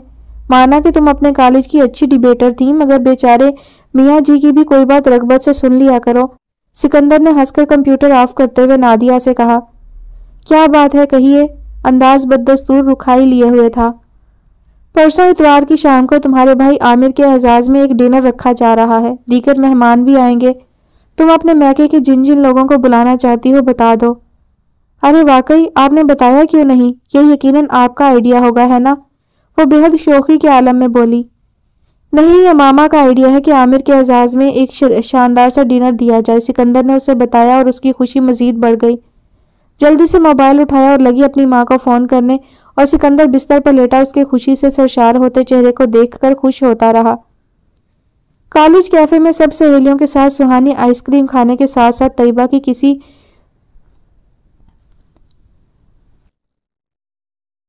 कॉलेज कैफ़े में सब सहेलियों के साथ सुहानी आइसक्रीम खाने के साथ साथ तैयबा की कसी हुई चोटी का मज़ाक उड़ा रही थी। तैयबा किसी आकर बात किसी दूसरी जानब ले गई तो सुहानी सबका बिल अदा करते हुए पूछने लगी, अब बताओ कहाँ चलना है आज? ब्यूटी पार्लर चलना है, स्किन बहुत खराब हो रही है, राहिला अपने चेहरे पर हाथ फेरते हुए बोली। खूब याद दिलाया तुमने, पार्लर तो मुझे भी जाना है। तुम्हें भी फेशियल लेना है क्या? नहीं यार, सुहानी ने धीमी सी मुस्कुराहट लबों पर सजाकर कहा। तो फिर? शमा ने उसकी मक्खन मलाई जैसी स्किन को देखते हुए हैरत से पूछा, इन बड़े बालों ने बहुत तंग कर रखा है, सोच रही हूँ इन्हें कटवा लूँ।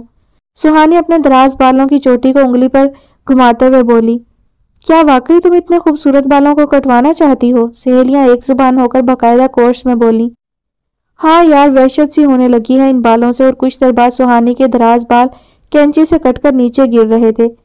सब सहेलियाँ तासुफ से ये मंजर देख रही थी और सुहानी के चेहरे पर एक अनजानी सी मुस्कुराहट थी। थोड़ी देर बाद वह खूबसूरत हेयर स्टाइल में अपनी सहेलियों के साथ घूम रही थी और बार बार उनसे पूछ रही थी, ये नया स्टाइल कैसा लग रहा है? आफत, क्यामत, उसके ग्रुप की लड़कियाँ उसको सराह रही थी। तब वो हंसकर बोली, देखा मेरा फैसला कितना सही था। सही और गलत की परख मुझमें कितनी ज़्यादा है। और जब सुहानी अपने घर में दाखिल हुई तो उसकी सबसे पहले मुठभेड़ अपनी भाभी से हुई। सुहानी तुम्हारे बाल कहाँ गए? नादिया के लबों से पहला जुमला यही निकला था। जहाँ जाने थे, वो मुस्कुराकर बोली, कितनी लंबी चोटी थी तुम्हारी, दुख नहीं हुआ तुम्हें? हैरत है, इतने लंबे बाल तुमने कैसे कटवा लिए? नादिया भाभी के लहजे में तासुफ का रंग नुमाया था। भाभी जान मेरे बाल थे, वो मैंने अपनी खुशी से कटवा लिए तो इसमें दुख की कौन सी बात है? एक अच्छी चीज़ से हाथ धो बैठना कोई अकलमंदी की बात तो नहीं है। कम अज कम तुम्हें किसी से मशवरा ही कर लेना चाहिए था। इसकी ज़रूरत मैंने महसूस नहीं की और मशवरा भी उनसे किया जाता है जिनकी बातों पर अमल करने को दिल चाहे। यूँ भी मेरे बाल छोटे हों या बड़े, ये मेरा मामला है। इसमें किसी को कोई दखल देने की ज़रूरत ही नहीं। ठीक है, तुम्हारी मर्ज़ी, मगर मैं तुम्हारे खूबसूरत बालों की मिसालें दिया करती थी। नादिया भाभी अभी तक तासुफ के शिकंजे से बाहर नहीं आई थी। लंबे बालों से मुझे कौफ होती थी। रही बात मिसालें देने की तो अपनी सफ़ाई वाली मासी के बाल भी खासे लंबे हैं। जब आपका दिल उल्टी सीधी हाँकने को चाहे तो आप उसी के बालों की मिसालें दे दिया करें। नादिया भाभी तो उसकी बात सुनकर बुरा सा मुँह बनाकर अपने कमरे की जानब मुड़ गई और सुहानी गुनगुनाते हुए अपने कमरे में दाखिल हो गई। आज उसे अपना नया हेयर स्टाइल बहुत अच्छा लग रहा था। शादाब हाउस अंदर बाहर दोनों जानब से जगमगा रहा था। आज नादिया भाभी के भाई के एजाज में एक डिनर रखा गया था। उनके महके के भी बहुत से लोग मदऊ थे। मेहमानों के बैठने का तमाम इंतज़ाम घर के वसीओ अरीज लान में हुआ था। अज़ीज़ खालू ने हमारे घराने को भी मदऊ किया था। अम्मी अब्बा ने सिर्फ़ मुझे भेज दिया। बाजी तो वैसे भी चिड़ती थी हाँ अलबत्ता महनूर मेरे साथ आ गई थी। सुहानी आज शॉकिंग पिंक ट्राउज़र शर्ट में गुलाब का फूल लग रही थी।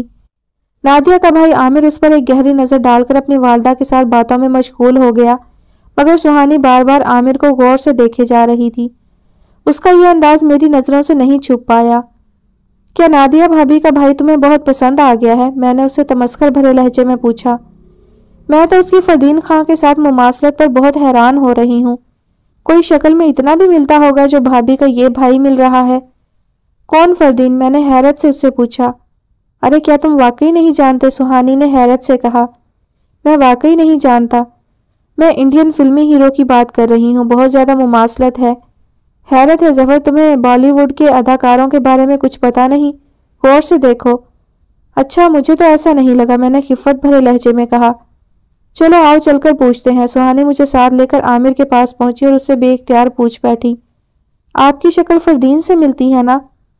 जी नहीं, मैं किसी से नहीं मिलता, वो मुझसे मिलता होगा। मगर बात तो एक ही है, सुहानी हँसी। जब मेरी शक्ल मेरी अपनी है और मैं किसी से नहीं मिलता तो बात कैसे एक हो गई? इंतहाई शरीर लहजे में उसने कहा तो सुहानी उसकी तरफ़ देखती ही देखती रह गई। मैं देख रहा था कि सुहानी की पूरी तवज्जो सिर्फ़ और सिर्फ़ आमिर की जानब मबजूल है। वो उससे बात भी कर रही है तो उसकी नज़रें आमिर को ही खोज रही हैं। तुम्हारी भाभी तो इतनी अच्छी नहीं है, उनका भाई भी उनसे ही मिलता है। मैंने उसे चेक करने की खातिर कहा, अरे नहीं भाई, आमिर तो अपनी बहन से सौ फ़ीसद मुख्तलिफ़ लग रहा है। कद देखो, छह फुट से भी निकलता हुआ है, जबकि नादिया भाभी का कद भी खासा छोटा है। चूँकि दुबली है, इसलिए बुरी नहीं लगती। आमिर की आँखें कितनी खूबसूरत हैं। कैसी मकना तीसी चमक है उनमें। जो उससे बात करे तो उसकी जानब खींचता ही चला जाए। आँखें बड़ी ज़रूर हैं भाभी की, मगर बुझी बुझी सी हैं। उनमें कशिश नहीं है। और फिर सबसे बड़ी बात, आमिर का लहजा कैसा ख्वाबनाक सा है। बोलता है तो दिल चाहता है कि उसको सुनते ही चले जाओ। सुहानी एक कैफ के आलम में बोल रही थी और मुझे उसकी बातें सुनकर एक धचका सा लग रहा था। शादाब खाला ने जब नादिया भाभी से गज़ल सुनाने को कहा तो उन्होंने अपने बजाय आमिर पर यह ज़िम्मेदारी डाल दी कि आज की शब कोई अच्छी सी गज़ल सुनाए। आमिर शुरू में किसी प्रोफेशनल की तरह टालता रहा, मगर जब सिकंदर भाई ने हारमोनियम संभाला तो आमिर ने माइक संभाल लिया। सुहानी सहर सदा से उठकर उसके सामने वाले सोफे पर आकर बैठ गई। आमिर ने अपनी बहन के चेहरे पर नज़रें जमाते हुए फाखरा गुल की गज़ल शुरू की। खुदा करे कि तेरे फूल रंग चेहरे पर कभी वो अक्स ना उतरे के मलाल आ जाए। समाते तेरी वो हर्फ ना सुने जिससे, तेरी नज़र के जलू में कोई घटा आए। खुदा करे कि तेरी चश्मे खुश में हर मंजर, नई बहारों का संदेश बन के छा जाए। तू मुस्कुराता रहे यूँ ही हर घड़ी, हर पल, रुखे रोशन पे कभी भी ना उदासी आए। खुदा करे कि सितारों भरे उफक के तले सदा यूँ चमके के शमसो कमर भी शर्म आए। तेरी जबी पे कोई नक्श ना ऐसा उभरे, जो तेरे बढ़ते सफ़र में कोई कमी लाए। वंस मोर वंस मोर सबको ही आमिर की आवाज़ बहुत पसंद आई थी और सुहानी तो ऐसी सहर जदा सी बैठी थी जैसे आमिर ने यह गज़ल उसी के लिए गाई हो। आपने ये गज़ल किसके लिए गाई है? सुहानी ने उसके पास जाकर बे इख्तियार पूछा। ज़ाहिर है, अपनी बाजी नादिया के लिए एक ही तो बहन है मेरी। बेहद लाडली और बेहद प्यारी। मैं उससे बहुत मोहब्बत करता हूँ, कोई शेर पढ़ता हूँ, कोई गज़ल गाता हूँ तो छम से मेरी बहन मेरे सामने आकर खड़ी हो जाती है। एक बात मैं पूछूँ आपसे, सुहानी ने कदर तवक्कुफ से कुछ हिचकिचा कर कहा, जी कहिए, आमिर की अब सारी तवज्जो उसी की जानब थी। आज की इस महफिल में आपको मैं नज़र नहीं आई? एकदम वो मुतहैर रह गया, फिर बोला, वो तो मैं आपको देख रहा हूँ। मेरा मतलब है कि आइंदा आपकी किसी गज़ल में मेरा गुजर नहीं हो सकता क्या? जी, देखेंगे, वो उसका मफहम समझकर मुस्कुराकर बोला और दूर बैठा हुआ मैं गुस्से से बेताब हो गया कि पहली पहली मुलाकात में सुहानी ने आमिर को कुछ ज़्यादा ही लिफ्ट दे दी थी। अब उसे यह बात कौन बताता कि वो अपनी पसंदीदा चीज़ की तारीफ़ करने में कभी बुखल से काम नहीं लेती थी? और यह तो फितरत की बात थी, आमिर उसे पहली नज़र में ही दिलो जान से पसंद आ गया था। नादिया और उसकी अम्मी सुहानी की यह अंदाज देख रही थी और दिल ही दिल में खुश भी हो रही थी कि इतनी हसीन लड़की आमिर की जानब अज खुद पेशकदमी कर रही थी। महानूर को यह सब अच्छा नहीं लगा था। जब ही वो मेरे पास आकर बोली, ज़फ़र, मुझे तो लगता है कि सुहानी पागल हो गई है। अच्छे बुरे की पहचान ही खत्म हो गई है। फिर मैं क्या करूँ? किलस कर मैंने कहा और दूर आसमान पर सितारों को देखने लगा। शहला अपनी कोहनी आँखों पर रखे बजाहिर सो रही थी, मगर नींद उसकी आँखों से कोसों दूर थी। कितनी ही कोशिश करती थी कि नींद की देवी उस पर मेहरबान हो जाए, मगर वो तो उससे रूठ गई थी। बराबर के पलंग पर उसकी छोटी बहन गहरी नींद के मज़े ले रही थी। एक मलकूती सी मुस्कुराहट उसके लबों पर थी। तीसरे नंबर की बहन सबसे छोटी थी, तभी वो बड़बड़ाई, कह दिया ना हरगिज नहीं। शहला ने हैरान होकर देखा, उसे सोते में बोलने की आदत तो कभी नहीं थी। प्लीज़ सलमान, मेरी बात मान जाओ ना। वो मलतजी लहजे में फिर खुश आमदे कर रही थी। गुड़िया उठो, शहला ने बेताबाना उसे झंझोड़ कर जगा डाला। क्या बात है आपी? उसने मुदी मुदी आँखों से बहन को हैरत से पूछा। तुम सोते में बड़बड़ा रही थी, इसलिए जगा डाला। आपी, मैं तो बेखबर सो रही थी और ख्वाब भी बहुत अच्छा से देख रही थी। आपने ख्वाम खा ही जगा दिया। इसीलिए तो जगा दिया कि बहुत से ख्वाबों की ताबीर उल्टी होती है। शहला ने हसरत भरे लहजे में कहा था, अल्लाह ना करे, वो बेख्तियार कह बैठी। गुड़िया, क्या बात है? क्या तुम अपनी आपी को भी नहीं बताओगी? शहला उसका हाथ अपने हाथों में लेते हुए बोली, कोई बात नहीं, कुछ भी तो नहीं, वो हकला कर बोली, मुझसे भी छुपाओगी तुम? शहला दुख से बोली, नहीं आपी, मेरे पास ऐसी कोई बात नहीं है जो मैं आपको बताऊँ। उसके कहे हुए जुमले उसकी आवाज़ का साथ नहीं दे रहे थे। ठीक है, तुम सही कह रही हो, मगर सलमान कौन है? आपको किसने बताया? वो अब गड़बड़ा सी गई थी। ये तो मुझे अब तुम खुद बताओगी कि सलमान कौन है। शहला का लहजा अब सख्त हो गया था। आप ही वो मेरे कोचिंग सेंटर में पढ़ाते हैं, उसने नज़रें झुकाकर कहा। तुम पढ़ने ही जाती हो या इश्क बघारने? उसने चोट की। मैं तो पढ़ने ही जाती थी, पहल तो उन्होंने ही की थी। ठीक है, अब बात कहाँ तक पहुँची है? वो अपनी अम्मी को रिश्ते के लिए घर भेजना चाहते हैं। तो तुमने क्या कहा? मैंने क्या कहना था? यही कहा कि हरगिज मत भेजें। हमारे अब्बा को फालिज का अटैक हुआ है, अम्मी किसी सूरत अभी रिश्ता कबूल नहीं करेंगी। वैसे भी मैं सबसे छोटी हूँ। तुमने क्यों मना कर दिया उन्हें? शहला को उसकी मासूमियत पर प्यार सा आने लगा।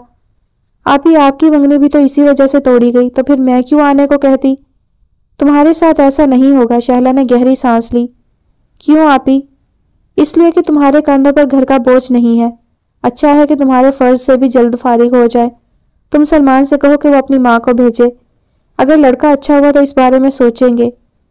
क्या वाकई आपी मगर अभी पिछले हफ़्ते तो छोटी आपा की मंगनी हुई है। इन हालात में कैसे ये सब हो सकेगा? ये बातें तुम्हारे सोचने की नहीं है। पहले हम देख तो लेंगे वो लोग कैसे हैं। चंद दिन बाद सलमान अपनी वालदा और बहनों के हमरा आया तो सबको ही अच्छा लगा। शहला का ख्याल था कि शादी के लिए एक साल की मोहलत ले ली जाए। मगर अम्मी का इरादा झटपट शादी करने का था और वो चाहती थी कि एक साथ ही दोनों बे बेटियों को निपटा दिया जाए।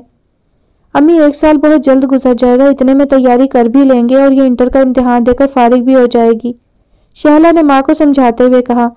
इम्तिहान का क्या है? वो शादी के बाद भी दे लेगी। सलमान जब दुनिया को पढ़ाता फिरता है तो क्या बीवी को नहीं पढ़ाएगा? मगर तैयारी शहला ने कहा। तैयारी तो पूरी है, तुम्हारा बना हुआ जहेज रखे रखे खाम खा खराब हो जाएगा। अच्छा है, तुम्हारी दोनों बहनों को दे देंगे तो पैसे की भी बचत होगी। और जब तुम्हारी शादी होगी तो इससे उमदा हर चीज़ बनवा कर दूँगी। ये सामान तो वैसे भी घटिया किस्म का है। ये तुम अपनी बहनों को दे दो, हमारा एक बड़ा मसला हल हो जाएगा। और उस वक्त शहला का सर घूम कर रह गया। उसकी मंगनी तोड़ते हुए बाप की बीमारी और घर के बुरे हालात पेशे नज़र थे। मगर अब बीमारी का तो कोई तस्करा ही नहीं था। हालात भी शायद एकदम अच्छे हो गए थे और उसका जहेज जो बड़ी पेटी में रखते वक्त ये कहा गया था कि ये चीज़ें तुम्हारी हैं और बाद में तुम्हारे ही काम आएँगी। और चंद महीने के बाद ही उससे ये कहा जा रहा था कि ये घटिया चीज़ें अपनी बहनों को दे दो, तुम्हारे लिए बाद में अच्छी चीज़ें बनवा देंगे। माँ के इस अंदाज पर उसका दिल तड़प सा गया और वो तन्हाई में बैठकर घंटों रोती भी रही। मगर जब दिल की भड़ास निकल गई तो उसे अपनी माँ की परेशानियों का एहसास पूरे दुख के साथ हुआ। इस महँगाई के ज़माने में जब एक मुस्तकिल आमदनी का सिलसिला भी ख़त्म हो जाए तो बेटियाँ ब्याहना कोई आसान काम थोड़ी होता है। वो तो लड़का शरीफ था जिसने पसंद करने के बाद शादी के लिए कहा। वरना तो ऐसे इदारों में बहुत से लड़के सिर्फ़ वक्त पास करने के सिवा कुछ नहीं किया करते। बहन छोटी ज़रूर थी, मगर इतनी छोटी भी नहीं थी। खैर लोग हैं, रिश्ता करने के बाद मुकर सकते हैं, इसलिए जितनी जल्दी शादी हो जाए, उतना ही अच्छा है। अम्मी, आप बिल्कुल ठीक कहती हैं। आप लड़के वालों से जितनी जल्दी शादी की तारीख ले सकती हैं, ले लें, ताकि हम इसके फ़र्ज़ से सुबकदोश हों। यही तो मैं कह रही थी। अम्मी, उसको अपना हमनवा पाकर खुश हो गई और लगी उसे दुआएँ देने। अल्लाह मेरी शहला के लिए भी कोई अच्छा सा शहजादा भेज दे।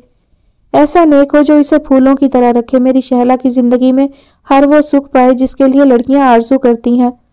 और शहला अपने लबों पर एक फीकी सी मुस्कुराहट सजाकर उनके सामने से हट गई कि इसके सिवा कोई चारा ही नहीं था। उसके मन का शहजादा तो वापस जा चुका था, बल्कि वापस भेज दिया गया था। वो एक सर्द आह भर के रह गई।